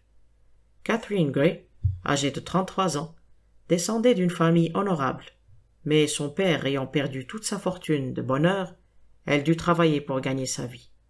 À vingt-trois ans, elle devint dame de compagnie de madame Hartfield. Tout le monde savait que madame Hartfield était une vieille dame difficile. Chez elle, les dames de compagnie ne faisaient que passer. Elles arrivaient, débordant d'espoir, mais s'en allaient les yeux pleins de larmes. Cependant, dès l'instant où Catherine Gray mit le pied à Little Crampton, voilà dix ans, la paix régna dans la maison. Personne n'aurait su expliquer pourquoi. On est charmeur de serpents. Catherine Gray possédait le don inné d'apprivoiser les vieilles dames, les chiens et les garçonnets. À vingt-trois ans, c'était une jeune fille paisible, aux beaux yeux gris. À trente-trois, elle demeurait toujours aussi calme, et ses mêmes yeux gris considéraient la vie avec une heureuse sérénité que rien ne parvenait à troubler. De plus, elle était née avec une gaieté et une belle humeur inaltérables. Assise à sa petite table, elle finissait de déjeuner quand on sonna à la porte d'entrée. Une minute après, la servante lui annonçait le docteur Harrison. Le médecin du village, un gros homme d'âge mûr, respirant l'énergie et la santé, entra. Bonjour, Miss Gray. Bonjour, docteur Harrison. Je viens vous voir de bonne heure avant que vous ne receviez un mot de la famille Hartfield, entre autres. Une certaine madame Hartfield. Un vrai poison. Sans dire un mot, Catherine prit sur la table la lettre de madame Hartfield et l'attendit au médecin. Très amusée, elle l'observait pendant qu'il parcourait l'épître. Les sourcils froncés, poussant des grognements de mépris, il lança la feuille sur la table. C'est indigne, s'écria-t-il. Mais ne vous tourmentez pas outre mesure. Ces gens ne savent pas ce qu'ils disent. Madame Hartfield avait la tête aussi solide que vous et moi. Et personne ne pourra prouver le contraire. Cette menace de faire casser le testament par un tribunal est un bluff. Et voilà pourquoi ils essayent de vous amadouer. Ne vous laissez pas prendre à leurs paroles mielleuses. N'allez pas vous imaginer que vous leur devez quelque argent, et ne vous laissez pas toucher par une fausse sentimentalité ou des scrupules de conscience. Je vous avoue que je n'ai aucun scrupule en ce qui le concerne. Ces gens-là sont des parents éloignés du mari de madame Hartfield, et ils ne s'inquiétaient point d'elle, de son vivant. Voilà une parole sensée, approuva le docteur Harrison. Mieux que quiconque. Je sais ce que vous avez enduré pendant dix ans. Vous avez bien le droit de jouir des petites économies de la vieille dame. Des petites économies? répéta Catherine. Docteur, vous n'avez aucune idée du chiffre de sa fortune? Ma foi, cinq cents livres de rente, je pense. C'est ce que je pensais. Lisez plutôt ceci. Elle lui tendit la lettre qu'elle avait retirée de l'enveloppe bleue. Il la parcourut et poussa une exclamation de surprise. Impossible. Madame Hartfield était l'une des premières actionnaires de Murto. Depuis quarante ans, elle devait toucher une rente de huit ou dix mille livres et ne dépensait guère plus de quatre cents livres par an. Elle était si parcimonieuse que je la croyais obligée de compter à un penny près. En attendant, ses revenus se sont accumulés en intérêts composés. Ma chère petite, vous allez devenir une femme extrêmement riche. Oui, me voilà riche maintenant. Elle parlait d'un air détaché, comme s'il fût agi de quelque autre personne. Je vous présente toutes mes félicitations, lui dit le docteur Harrison. Quant à Samuel Hartfield, ajouta-t-il en donnant un coup de pouce à la lettre, n'en tenez aucun compte, non plus que de son odieuse missive. Je n'y trouve rien d'odieux, répliqua Catherine avec son indulgence habituelle. Étant donné les circonstances, sa démarche me semble naturelle. Parfois vous m'inspirez de graves inquiétudes, prononça le docteur. Pourquoi? Tant de choses vous paraissent naturelles. Catherine Gray sourit. À l'heure du déjeuner, le docteur Harrison raconta la nouvelle sensationnelle à sa femme. Celle-ci en demeura tout abasourdie. Est-ce possible? La vieille madame Hartfield possédait tant d'argent? Je suis heureuse qu'elle ait laissé à Catherine Gray. Cette jeune fille est une sainte. Le docteur fit la grimace. Je me suis toujours imaginé les saintes comme des gens peu commodes. Catherine Gray est trop humaine pour être une sainte. C'est une sainte avec beaucoup de bon sens et de belle humeur. Et peut-être ne l'as-tu pas remarqué, elle est très jolie. Qui ça? Catherine Gray? demanda le docteur surpris. Elle a certes de beaux yeux. Oh, les hommes sont aveugles comme des chauves-souris. Catherine a tout ce qu'il faut pour faire une belle femme. Il lui manque seulement un peu de toilette. Que lui reproches-tu? Moi, je la trouve toujours gentiment habillée. Madame Harrison, exaspérée, poussa un soupir. Le médecin se leva pour aller visiter ses malades. Tu pourrais aller la voir, Polly, suggéra-t-il. Certainement, répondit madame Harrison. Vers trois heures, elle sonnait à la porte de Miss Gray. Ma chère petite, je suis bien contente de la bonne nouvelle que m'a annoncée mon mari, dit-elle très cordialement, en serrant la main de Catherine. Tous les gens du village s'en réjouiront également. Vous êtes bien aimable de venir me l'apprendre. À propos, que devient Johnny? Oh, Johnny, eh bien. Johnny était le plus jeune fils de madame Harrison. Celle-ci se lança dans un long bavardage où il n'était question que des amygdales et des végétations de Johnny. Catherine l'écoutait avec sympathie. L'habitude est une seconde nature, et depuis dix ans, le rôle de Miss Gray avait été d'écouter les autres. Ma chérie, disait madame Hartfield, vous ai-je raconté ce bal des officiers de marine à Portsmouth, cette fois où Lord Charles admira ma robe Aimablement Catherine répondait. Peut-être, madame Hartfield, mais je m'en souviens plus. Racontez-moi encore, voulez-vous? Et alors la vieille dame n'en finissait plus, s'embrouillait, s'arrêtait, évoquait d'infimes détails. Catherine écoutait d'une oreille et répondait machinalement lorsqu'elle pouvait placer un mot. En ce moment, elle écoutait madame Harrison. Au bout d'une demi-heure, la femme du docteur s'en aperçut et s'exclama soudain. Je ne m'occupe que de moi alors que j'étais venue vous féliciter et vous parler de vos projets. Je n'y ai pas encore songé. Vous n'allez tout de même pas rester dans ce trou. Le ton horrifié de la dame amusa beaucoup Catherine. Non, je voyagerai, je ne connais pas du tout le monde. En effet, vous avez dû souffrir terriblement de demeurer ainsi, enfermé pendant tant d'années. Ma foi, non, dit Catherine.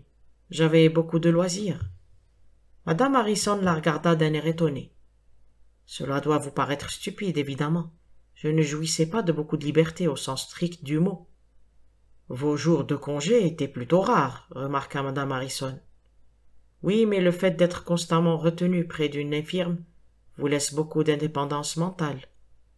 Je ne vous comprends pas, dit madame Harrison en hochant la tête. Si vous aviez été à ma place, vous vous seriez habitué comme moi à vivre par la pensée. Tout de même, un changement me serait agréable. Je veux voir du nouveau, évoluer dans un milieu où il se passe quelque chose, même si je dois en être que le témoin. Rien n'arrive à Sainte Mary Mead. Non, en vérité. Ici, tout est d'une monotonie écœurante. J'irai d'abord à Londres fit Catherine. Puis, après avoir rendu visite au notaire, je partirai pour l'étranger. À la bonne heure. D'abord, il me faudra monter ma garde-robe. Comme c'est drôle. Je le disais justement ce matin à Arthur, s'écria la femme du médecin. Si vous vouliez, Catherine, vous pourriez être superbe. Oh, je ne serai jamais une beauté. Mais il me plairait de m'habiller avec quelque élégance. Madame Harrison la regarda malicieusement. Cette existence va vous paraître tout à fait nouvelle. Avant de quitter le village, Catherine fit ses adieux à la vieille Miss Viner, cette demoiselle de deux ans plus âgée que madame Hartfield, considérait comme un succès personnel le fait d'avoir survécu à son ami. Vous n'auriez jamais cru ça, hein? demanda-t-elle triomphante. Nous avons été ensemble à l'école. Elle est partie et moi je reste. Qui l'eût pensé? C'est que vous avez toujours mangé du pain noir à votre dîner, Miss Viner, murmurait Catherine machinalement. Vous vous souvenez de cela, ma chère petite? Si Emma Hartfield avait pris une tranche de pain noir et un petit stimulant à son repas du soir, elle serait peut-être encore parmi nous aujourd'hui. La vieille demoiselle hocha fièrement la tête, puis elle ajouta.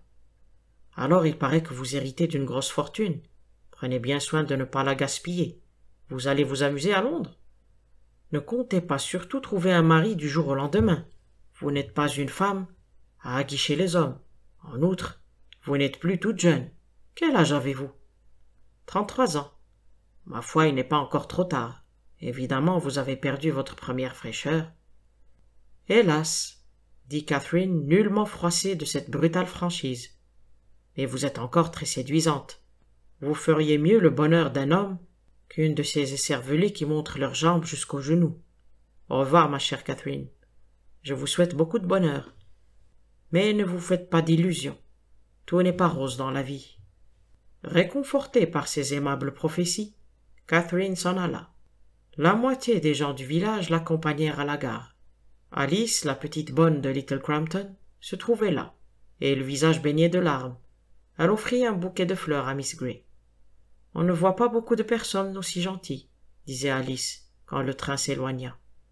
Oh, elle était sévère et détestait la poussière, mais dès qu'on frottait plus que d'habitude, elle savait le reconnaître. J'aurais fait n'importe quoi pour lui plaire. Voilà comment Catherine quitta Sainte Mary Mead. Chapitre 8 La lettre de Lady Tamplin. Ah, par exemple. Lady Tamplin lâcha le Daily Mail et contempla les eaux bleues de la Méditerranée.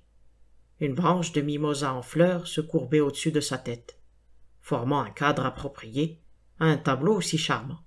Une femme aux cheveux d'or et aux yeux bleus, vêtue d'un élégant déshabillé, L'or des cheveux et le rose du visage provenaient indubitablement de l'artifice, mais le bleu des yeux était un don de la nature, et à quarante ans, Lady Templing pouvait encore passer pour une jolie femme.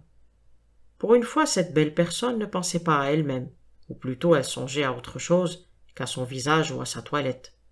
Un grave sujet préoccupait son esprit.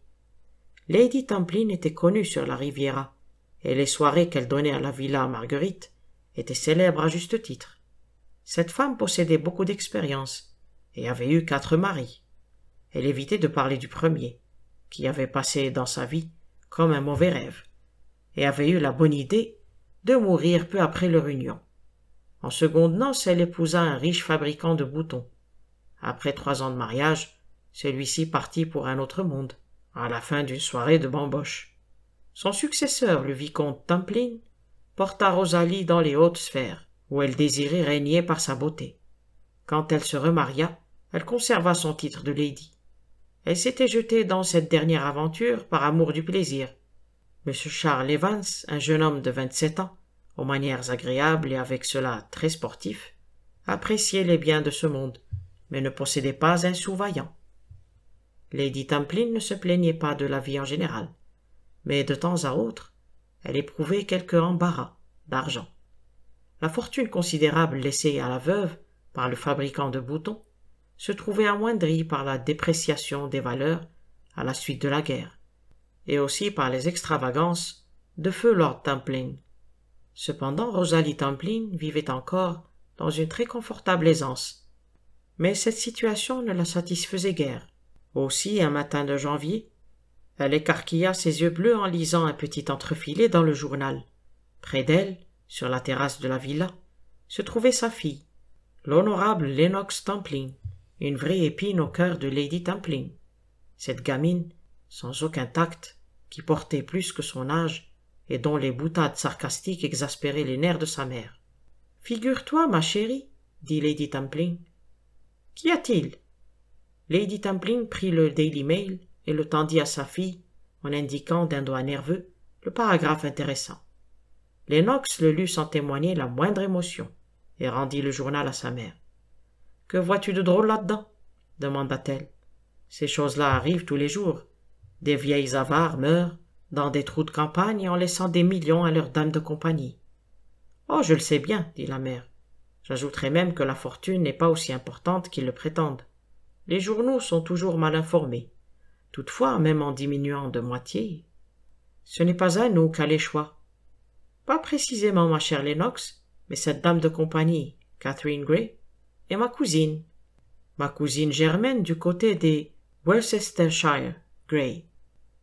Ah ah. Et je me demande ce qui pourrait vous en revenir, acheva sa fille avec un petit sourire de travers qui demeurait énigmatique pour sa mère.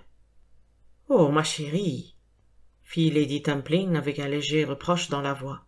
Je me demande si. Oh, bonjour, mon gros chéri. Vous allez jouer au tennis?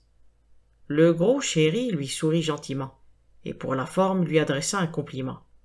Ce déshabillé couleur pêche vous va ravir, ma chère. Puis Chubby Evans descendit l'escalier.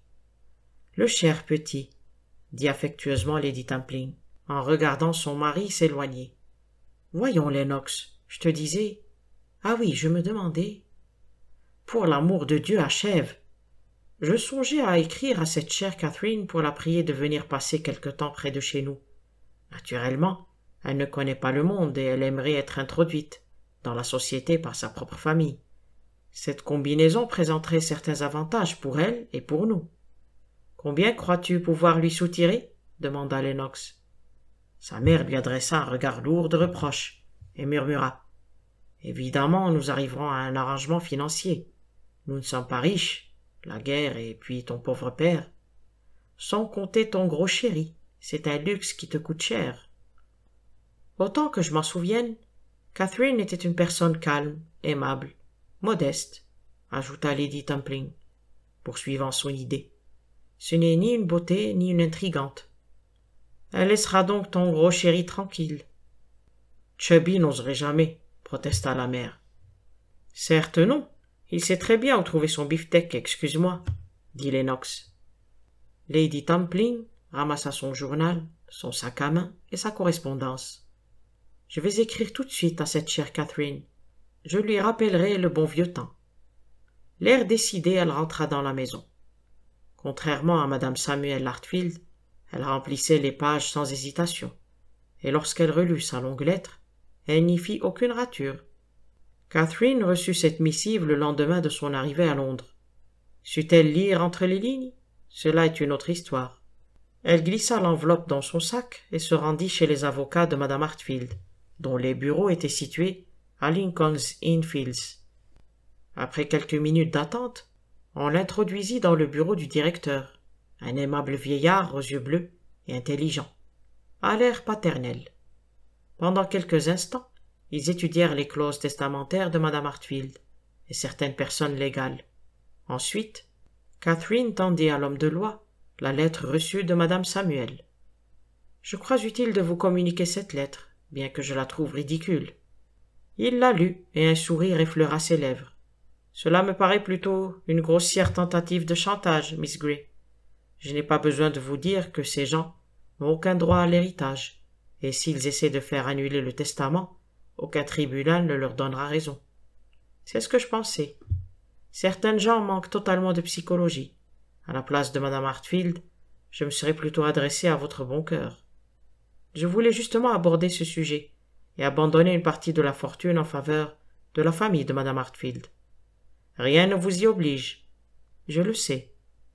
Ils interpréteront mal votre générosité et croiront que vous voulez ainsi les réduire au silence, ce qui ne les empêchera pas d'accepter votre argent. Je m'en doute, mais que faire?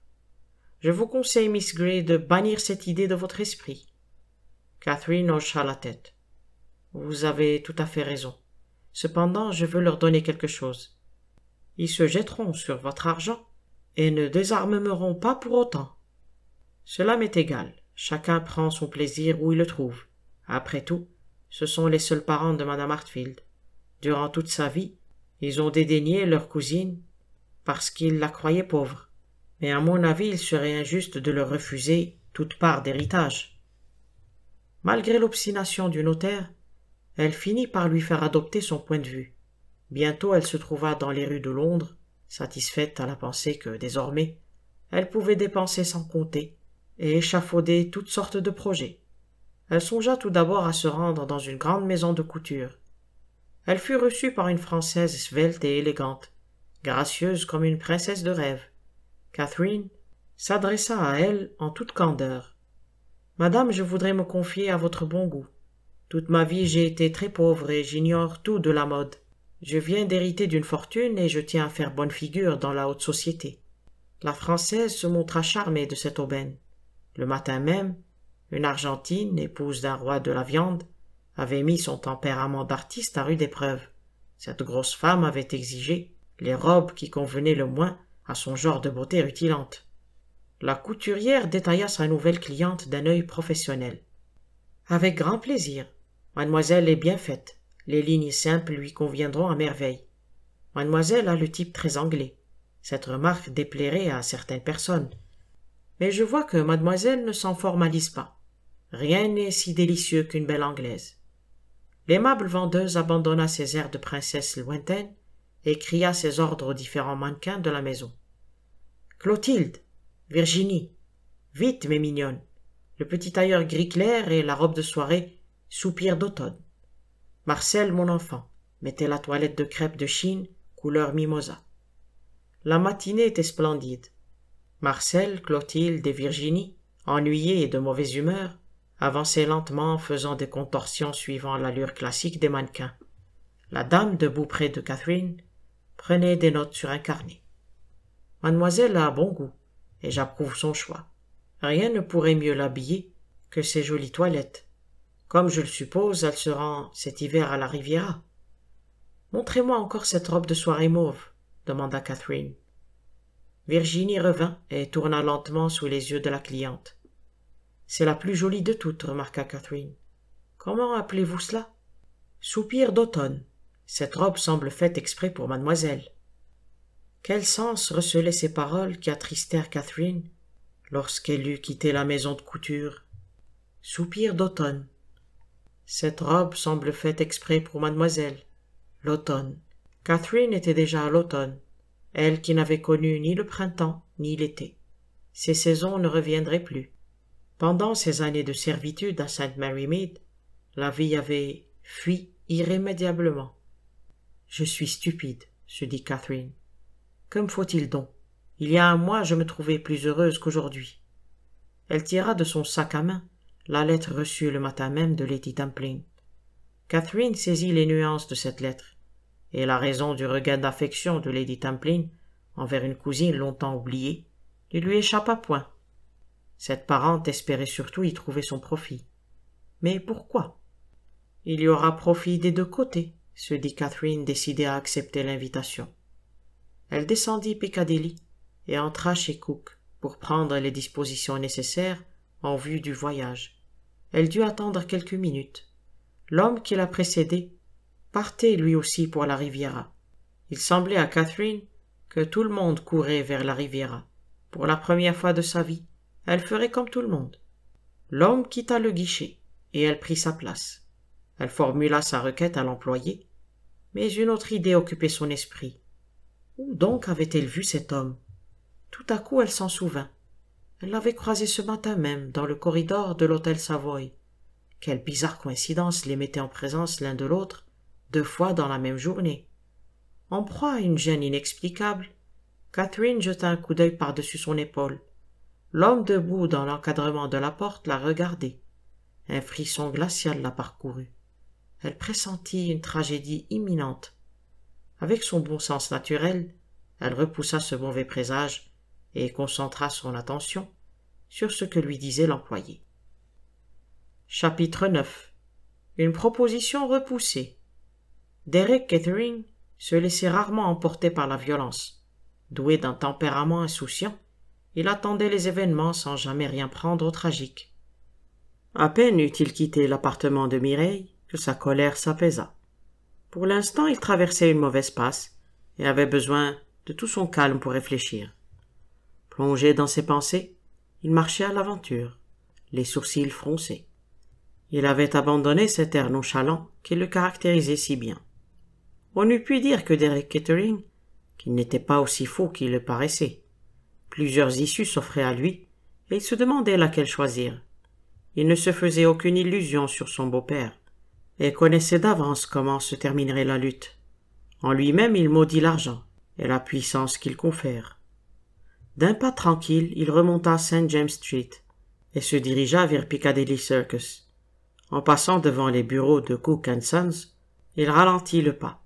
Cependant il continua son chemin, l'esprit préoccupé. Enfin il fit demi-tour si brusquement qu'il se jeta dans un couple qui le suivait. Cette fois il entra dans les bureaux de Cook et se présenta au guichet.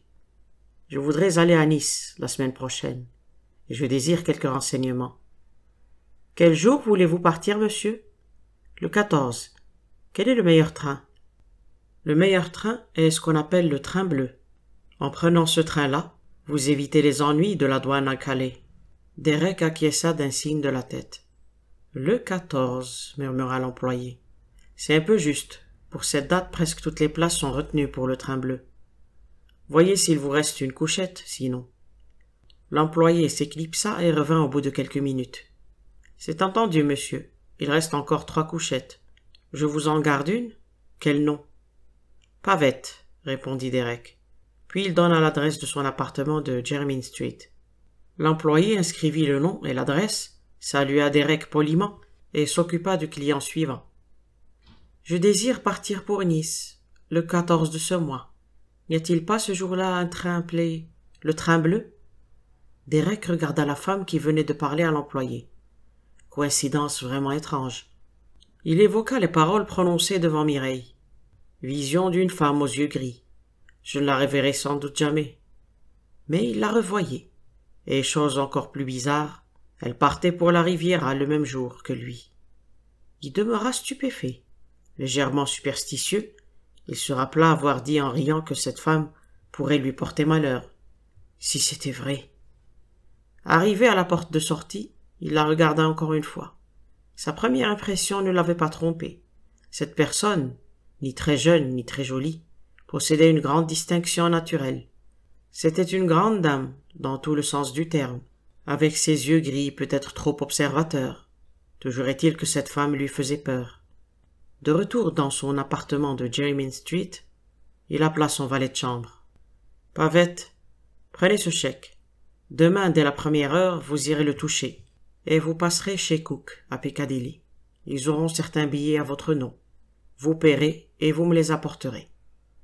Bien, monsieur. Pavette se retira. Derek prit quelques lettres posées sur une petite table. Il ne connaissait que trop cette correspondance. Des factures, des petites et des grosses, qui toutes attendaient le règlement.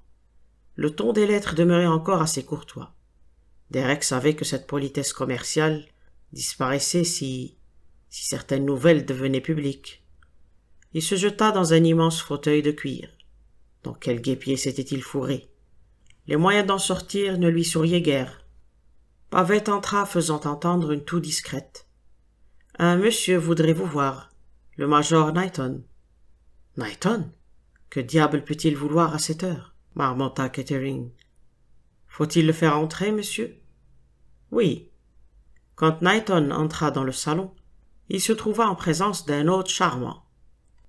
Vous êtes bien aimable de venir me voir, dit Derek. Knighton se sentait mal à l'aise. Derek s'en aperçut tout de suite, et en conclut que le secrétaire était chargé d'une mission difficile. Knighton répondait machinalement. Il refusa le whisky que lui offrit Kettering, et se montra de plus en plus gêné. Derek le tira enfin d'embarras. Que me veut donc mon estimé beau-père? lui demanda-t-il. C'est lui qui vous envoie, n'est-ce pas? Knighton ne se dérida pas.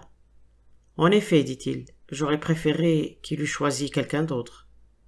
Derek affecta un grand étonnement. C'est donc si terrible Parlez sans crainte, Knighton. J'ai le dos large. Voici. Et il fit une pause. N'hésitez pas, insista Derek d'un ton encourageant. J'imagine que les missions de mon beau-père sont parfois difficiles à remplir. Knighton s'éclaircit la voix et parla en essayant de dissimuler son embarras. Monsieur Van Aldine me charge de vous faire une proposition. Une proposition? Derek ne put cacher sa surprise. Il ne s'attendait nullement à ces paroles du secrétaire. Il offrit une cigarette à Knighton, en prit une lui-même et s'enfonça dans son fauteuil en murmurant d'une voix sardonique. Une proposition, voilà qui devient intéressant. Dois-je continuer? Certes, excusez ma surprise, mais il me semble que mon cher beau-père a un peu baissé ses prétentions depuis notre entretien de ce matin. Ce changement d'attitude ne s'accorde guère avec l'idée que l'on se fait de ces Napoléons de la finance. Sans doute ne se trouve-t-il pas en si bonne posture qu'il l'aurait cru tout d'abord. Knighton écouta poliment les railleries de Derek sans laisser paraître ses sentiments. Il attendit que son hôte se tût. Puis il dit sans regarder son interlocuteur. Voici en quelques mots les propositions de votre beau-père. Madame Kettering doit demander le divorce. Si l'affaire se passe au tribunal, sans que vous fassiez de scandale, vous toucherez cent mille livres le jour où le divorce sera prononcé. Derek Kettering, qui allumait sa cigarette, s'arrêta net. Cent mille livres? Pendant deux minutes, il réfléchit. Cent mille livres, c'était la vie douce et insouciance. Van Aldine savait donc quelque chose. Il ne lâchait pas son argent pour rien. Derek se leva et s'appuya au marbre de la cheminée. Et si je refusais cette offre magnifique? demanda-t-il en affectant une politesse froide. Knighton esquissa un geste d'excuse. Croyez bien, monsieur Kettering, que c'est bien malgré moi que je remplis cette mission. Je m'en rends compte, Knighton. Je sais que vous n'y êtes pour rien. Voulez-vous répondre à la question que je vous ai posée? Knighton se leva à son tour et parla avec une répugnance très visible. Au cas où vous repousseriez ma proposition, M. Van Helding m'a chargé de vous dire qu'il se propose de vous écraser. Telles sont ses propres paroles. Rien de moins, dit Kettering. Je sais qu'il en est capable. À quoi bon essayer de lutter contre un millionnaire américain? Cent mille livres, si on veut acheter un homme, il ne faut pas regarder au prix. Et si je vous disais de répondre à mon beau-père que pour deux cent mille livres, je consentirais à suivre sa volonté. Je lui transmettrai votre message, dit Knighton. Est-ce là votre dernier mot? Non. Retournez plutôt près de mon beau-père et dites-lui qu'il aille au diable avec son argent. Est-ce clair? Entendu. Knighton hésita puis rougit. Je. Monsieur Kettering, voulez-vous me permettre de vous féliciter de cette réponse? Derek se tut.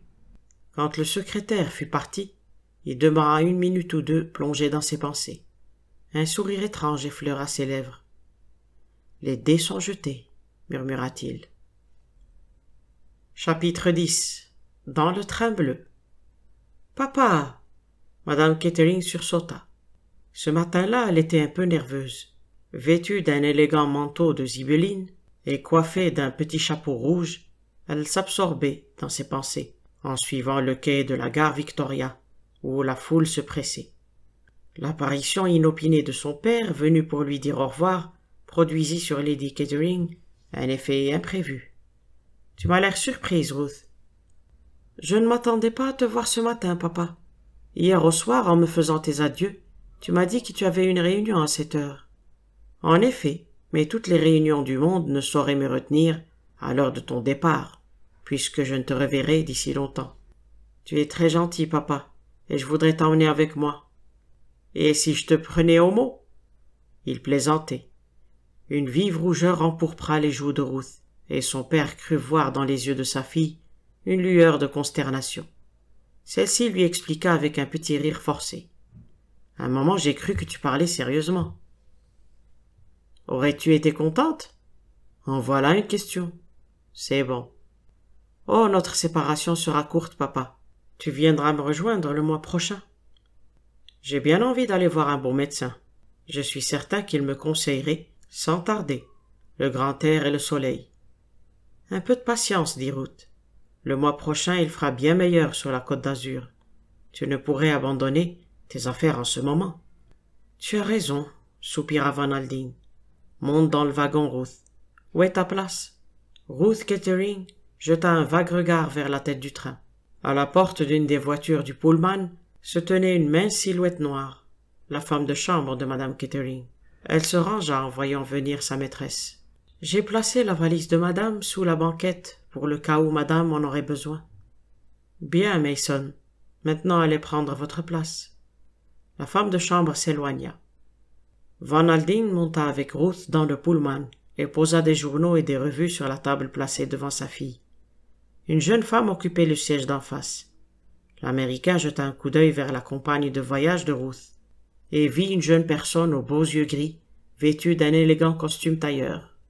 Le millionnaire s'attarda auprès de sa fille, lui répétant les mille riens que l'on dit au moment où le train va emporter un être cher. Le sifflet se fit entendre. Van Aldine regarda sa montre. Il faut que je m'en aille. Au revoir, ma chérie. Ne te tourmente pas, je m'occuperai de ton affaire. Oh, papa. Van Aldine se retourna brusquement frappé de la note étrange qu'il percevait dans la voix de sa fille. C'était presque un cri de désespoir, et Ruth s'était jetée vers son père en un geste impulsif. Mais l'instant d'après, elle était redevenue maîtresse d'elle-même. À bientôt, fit-elle d'un air joyeux. Deux minutes plus tard, le train partait. Ruth, demeurée assise, se mordit la lèvre inférieure, pour retenir les larmes prêtes à jaillir de ses yeux. Une tristesse angoissante l'oppressait.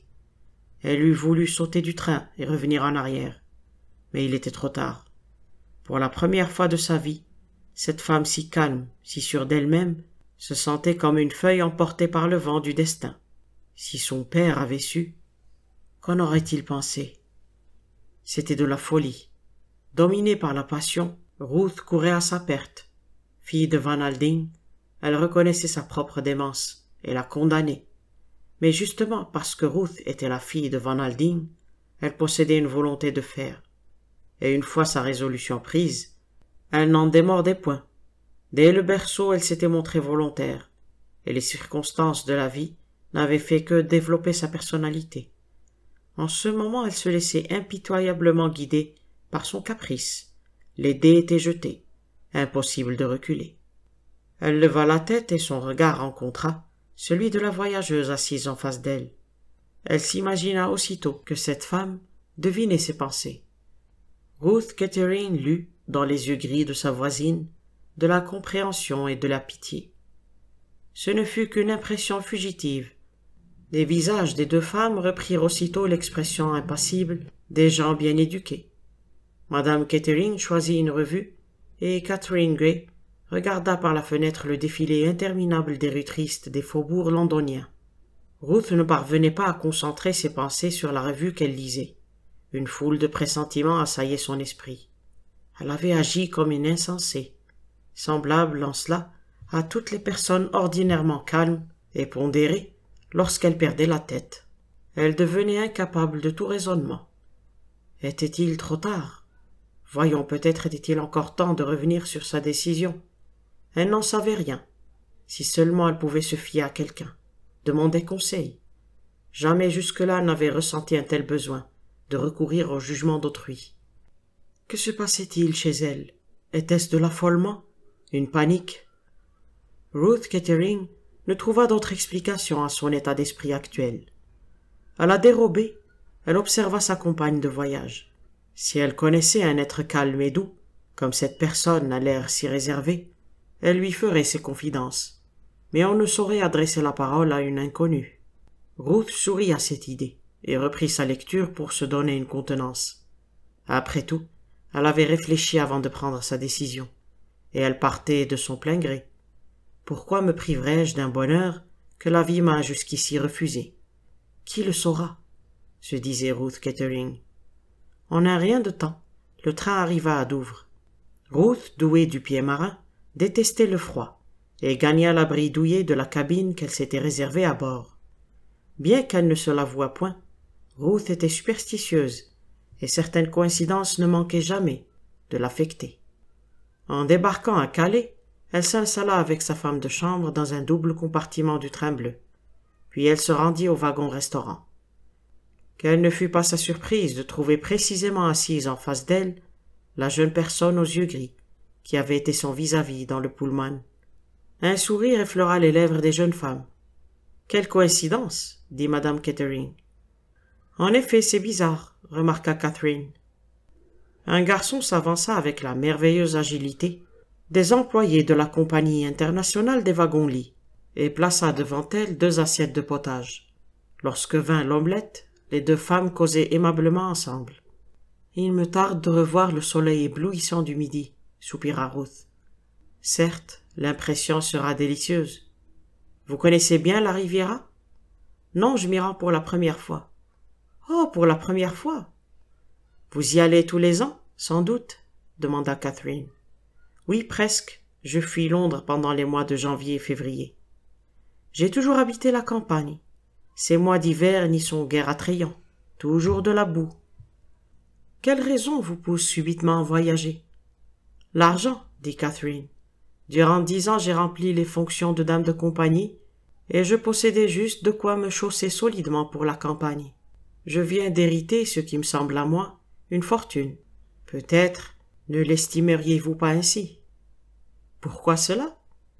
Catherine sourit. Je ne saurais le dire. On se fait parfois des idées à première vue. Je vous ai tout de suite classé dans mon esprit comme une personne très riche. Peut-être me suis-je trompé Non, vous êtes dans le vrai, dit Ruth, devenue soudain très grave. Je désirerais savoir quelles autres impressions j'ai pu produire sur vous. Je. Oh, je vous en prie, dites-le moi. À notre départ de Victoria, je vous ai étudié, et j'ai cru comprendre que vous deviniez ce qui se passait dans mon esprit. Rassurez-vous, je ne possède pas le don de lire dans la pensée d'autrui, répondit Catherine en riant. Non, mais dites-moi tout de même, quelle a été votre impression? L'insistance de Ruth était si sincère que Catherine céda. Puisque vous le voulez, mais ne me taxez point d'impertinence. Je me suis figuré que, pour une raison quelconque, vous étiez en proie à une grande détresse morale, et je vous plaignais en moi-même. Vous tombez juste, très juste. Je me débats dans de terribles ennuis. Vous m'êtes sympathique et cela me soulagerait énormément de vous en parler, si je ne vous importune pas trop. Mon Dieu, pensa Catherine, les gens sont partout les mêmes.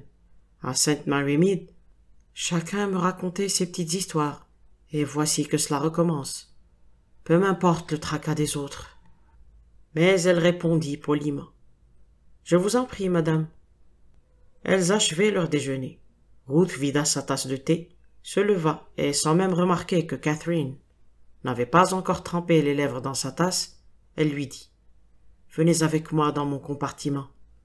C'était un double compartiment, avec une porte de communication. Dans celui du fond, la maigre jeune femme de chambre, que Catherine avait déjà entrevue à Londres, sur le quai de la gare Victoria, était assise et se tenait rigide sur la banquette. Elle serrait sur ses genoux un sac de maroquin rouge, portant les initiales RVK. Miss Kettering referma la porte et s'assit. Catherine prit place à côté d'elle. Je ne sais quelle décision prendre pour me tirer d'embarras. J'aime un homme à la folie. Nous nous connaissons depuis notre enfance, et on nous a séparés de façon brutale et injuste.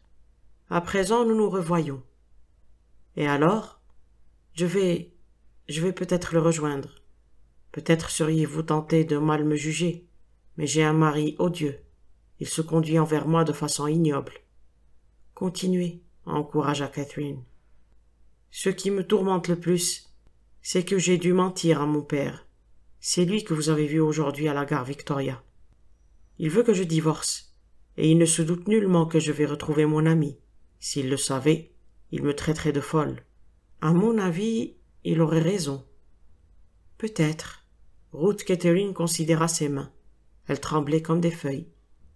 Impossible de reculer maintenant. Pourquoi pas? Il m'attend, et s'il ne me voyait pas, son cœur se briserait. N'en croyez rien, il en faut davantage pour briser le cœur d'un homme. Il m'accusera de manquer de courage et de volonté. Selon moi, vous allez commettre une sottise irréparable. Vous le savez bien. Ruth Kettering enfuit son visage dans ses mains. Je n'y puis rien. Depuis mon départ de Londres, je suis poursuivi par un horrible cauchemar. Je sens qu'il va m'arriver un malheur auquel je n'échapperai pas. Elle serra convulsivement la main de Catherine. Vous allez me prendre pour une folle, mais je prévois un danger imminent.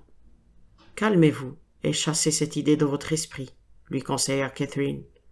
Pourquoi n'enverriez-vous pas Un câble à votre père en arrivant à Paris? Il viendrait sûrement vous chercher. Madame Catherine reprit courage et sécha ses yeux. Oui, je pourrais l'appeler à mon aide, ce cher vieux papa.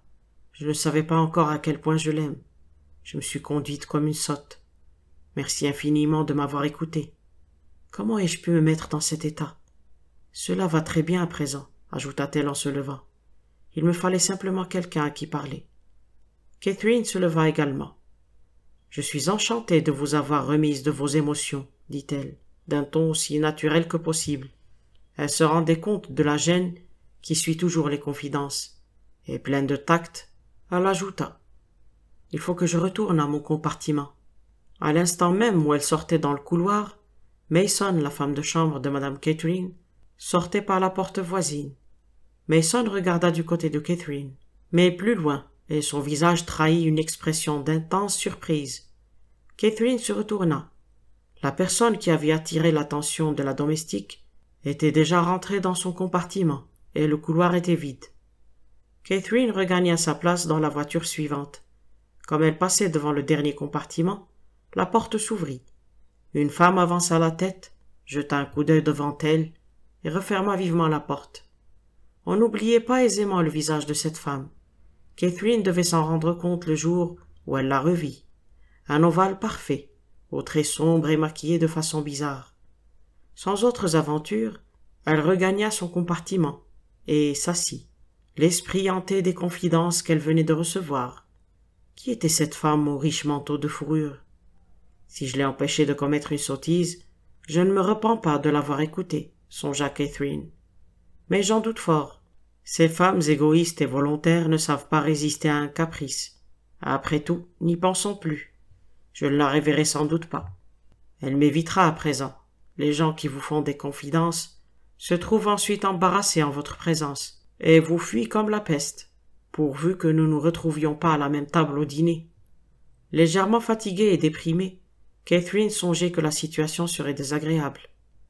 Arrivée à Paris, le train bleu suivit un trajet interminable le long de la ceinture, avec des arrêts interminables et des attentes sans fin. Lorsque le train stoppa à la gare de Lyon, Catherine, heureuse de quitter le wagon surchauffé et de respirer l'air frais du dehors, arpenta le quai pour se dégourdir les jambes. Elle constata avec plaisir que la voyageuse en manteau de zibeline résolvait elle-même la difficulté, et ne paraîtrait pas dans le wagon-restaurant à l'heure du dîner.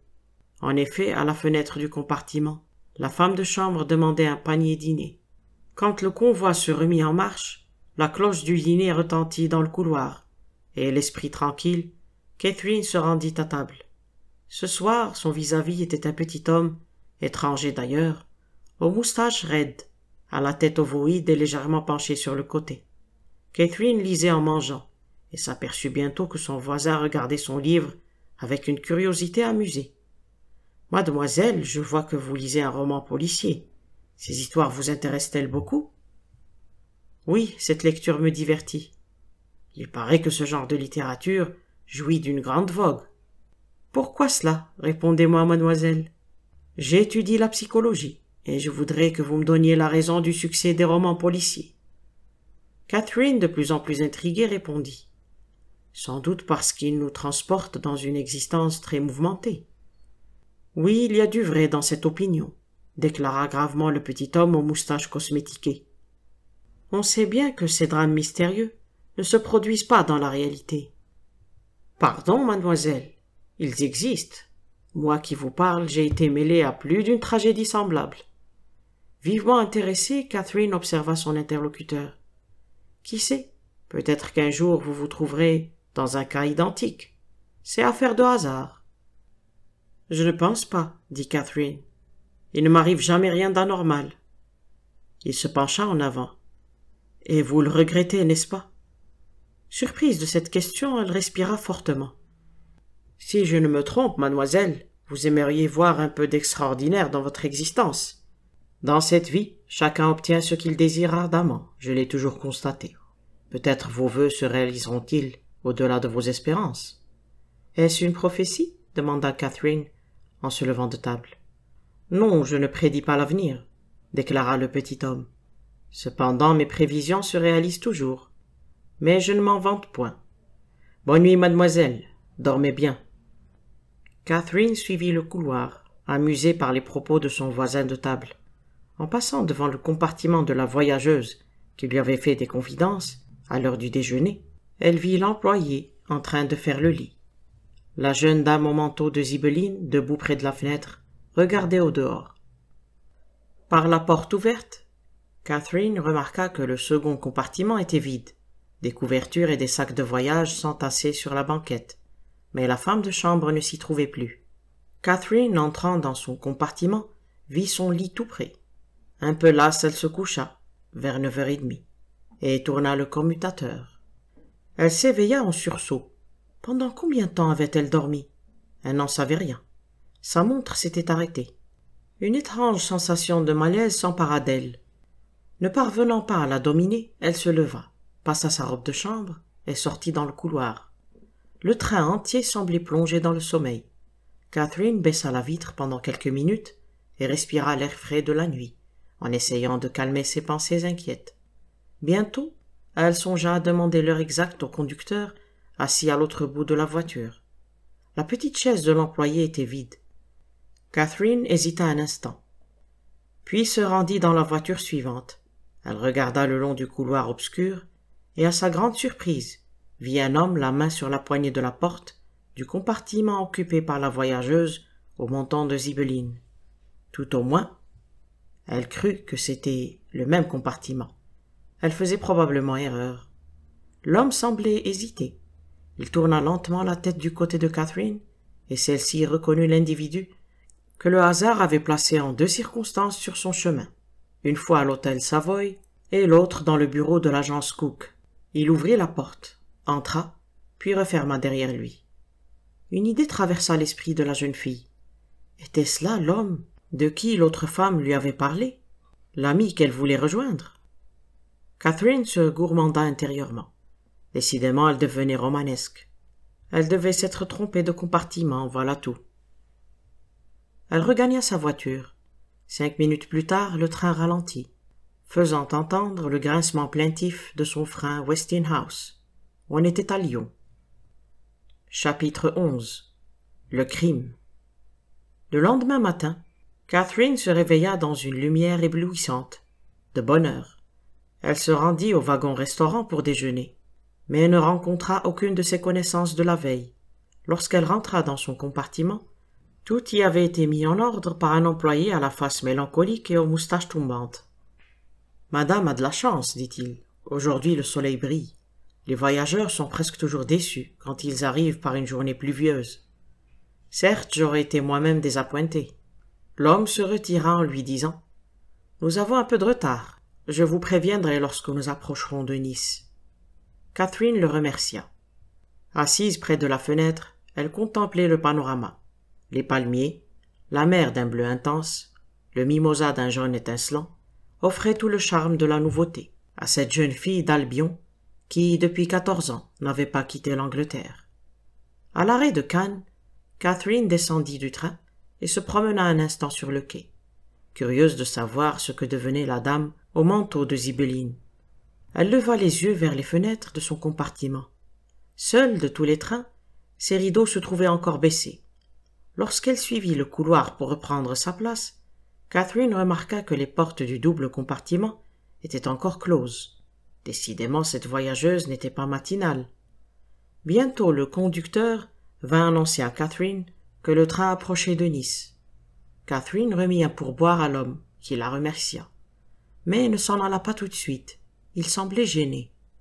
Catherine se demanda tout d'abord si elle avait été suffisamment généreuse, mais elle se rendit vite compte qu'il s'agissait d'une question plus grave. Le visage blême, l'homme tremblait de tous ses membres, et paraissait sous l'influence d'une invincible terreur. Il la dévisageait d'une façon étrange.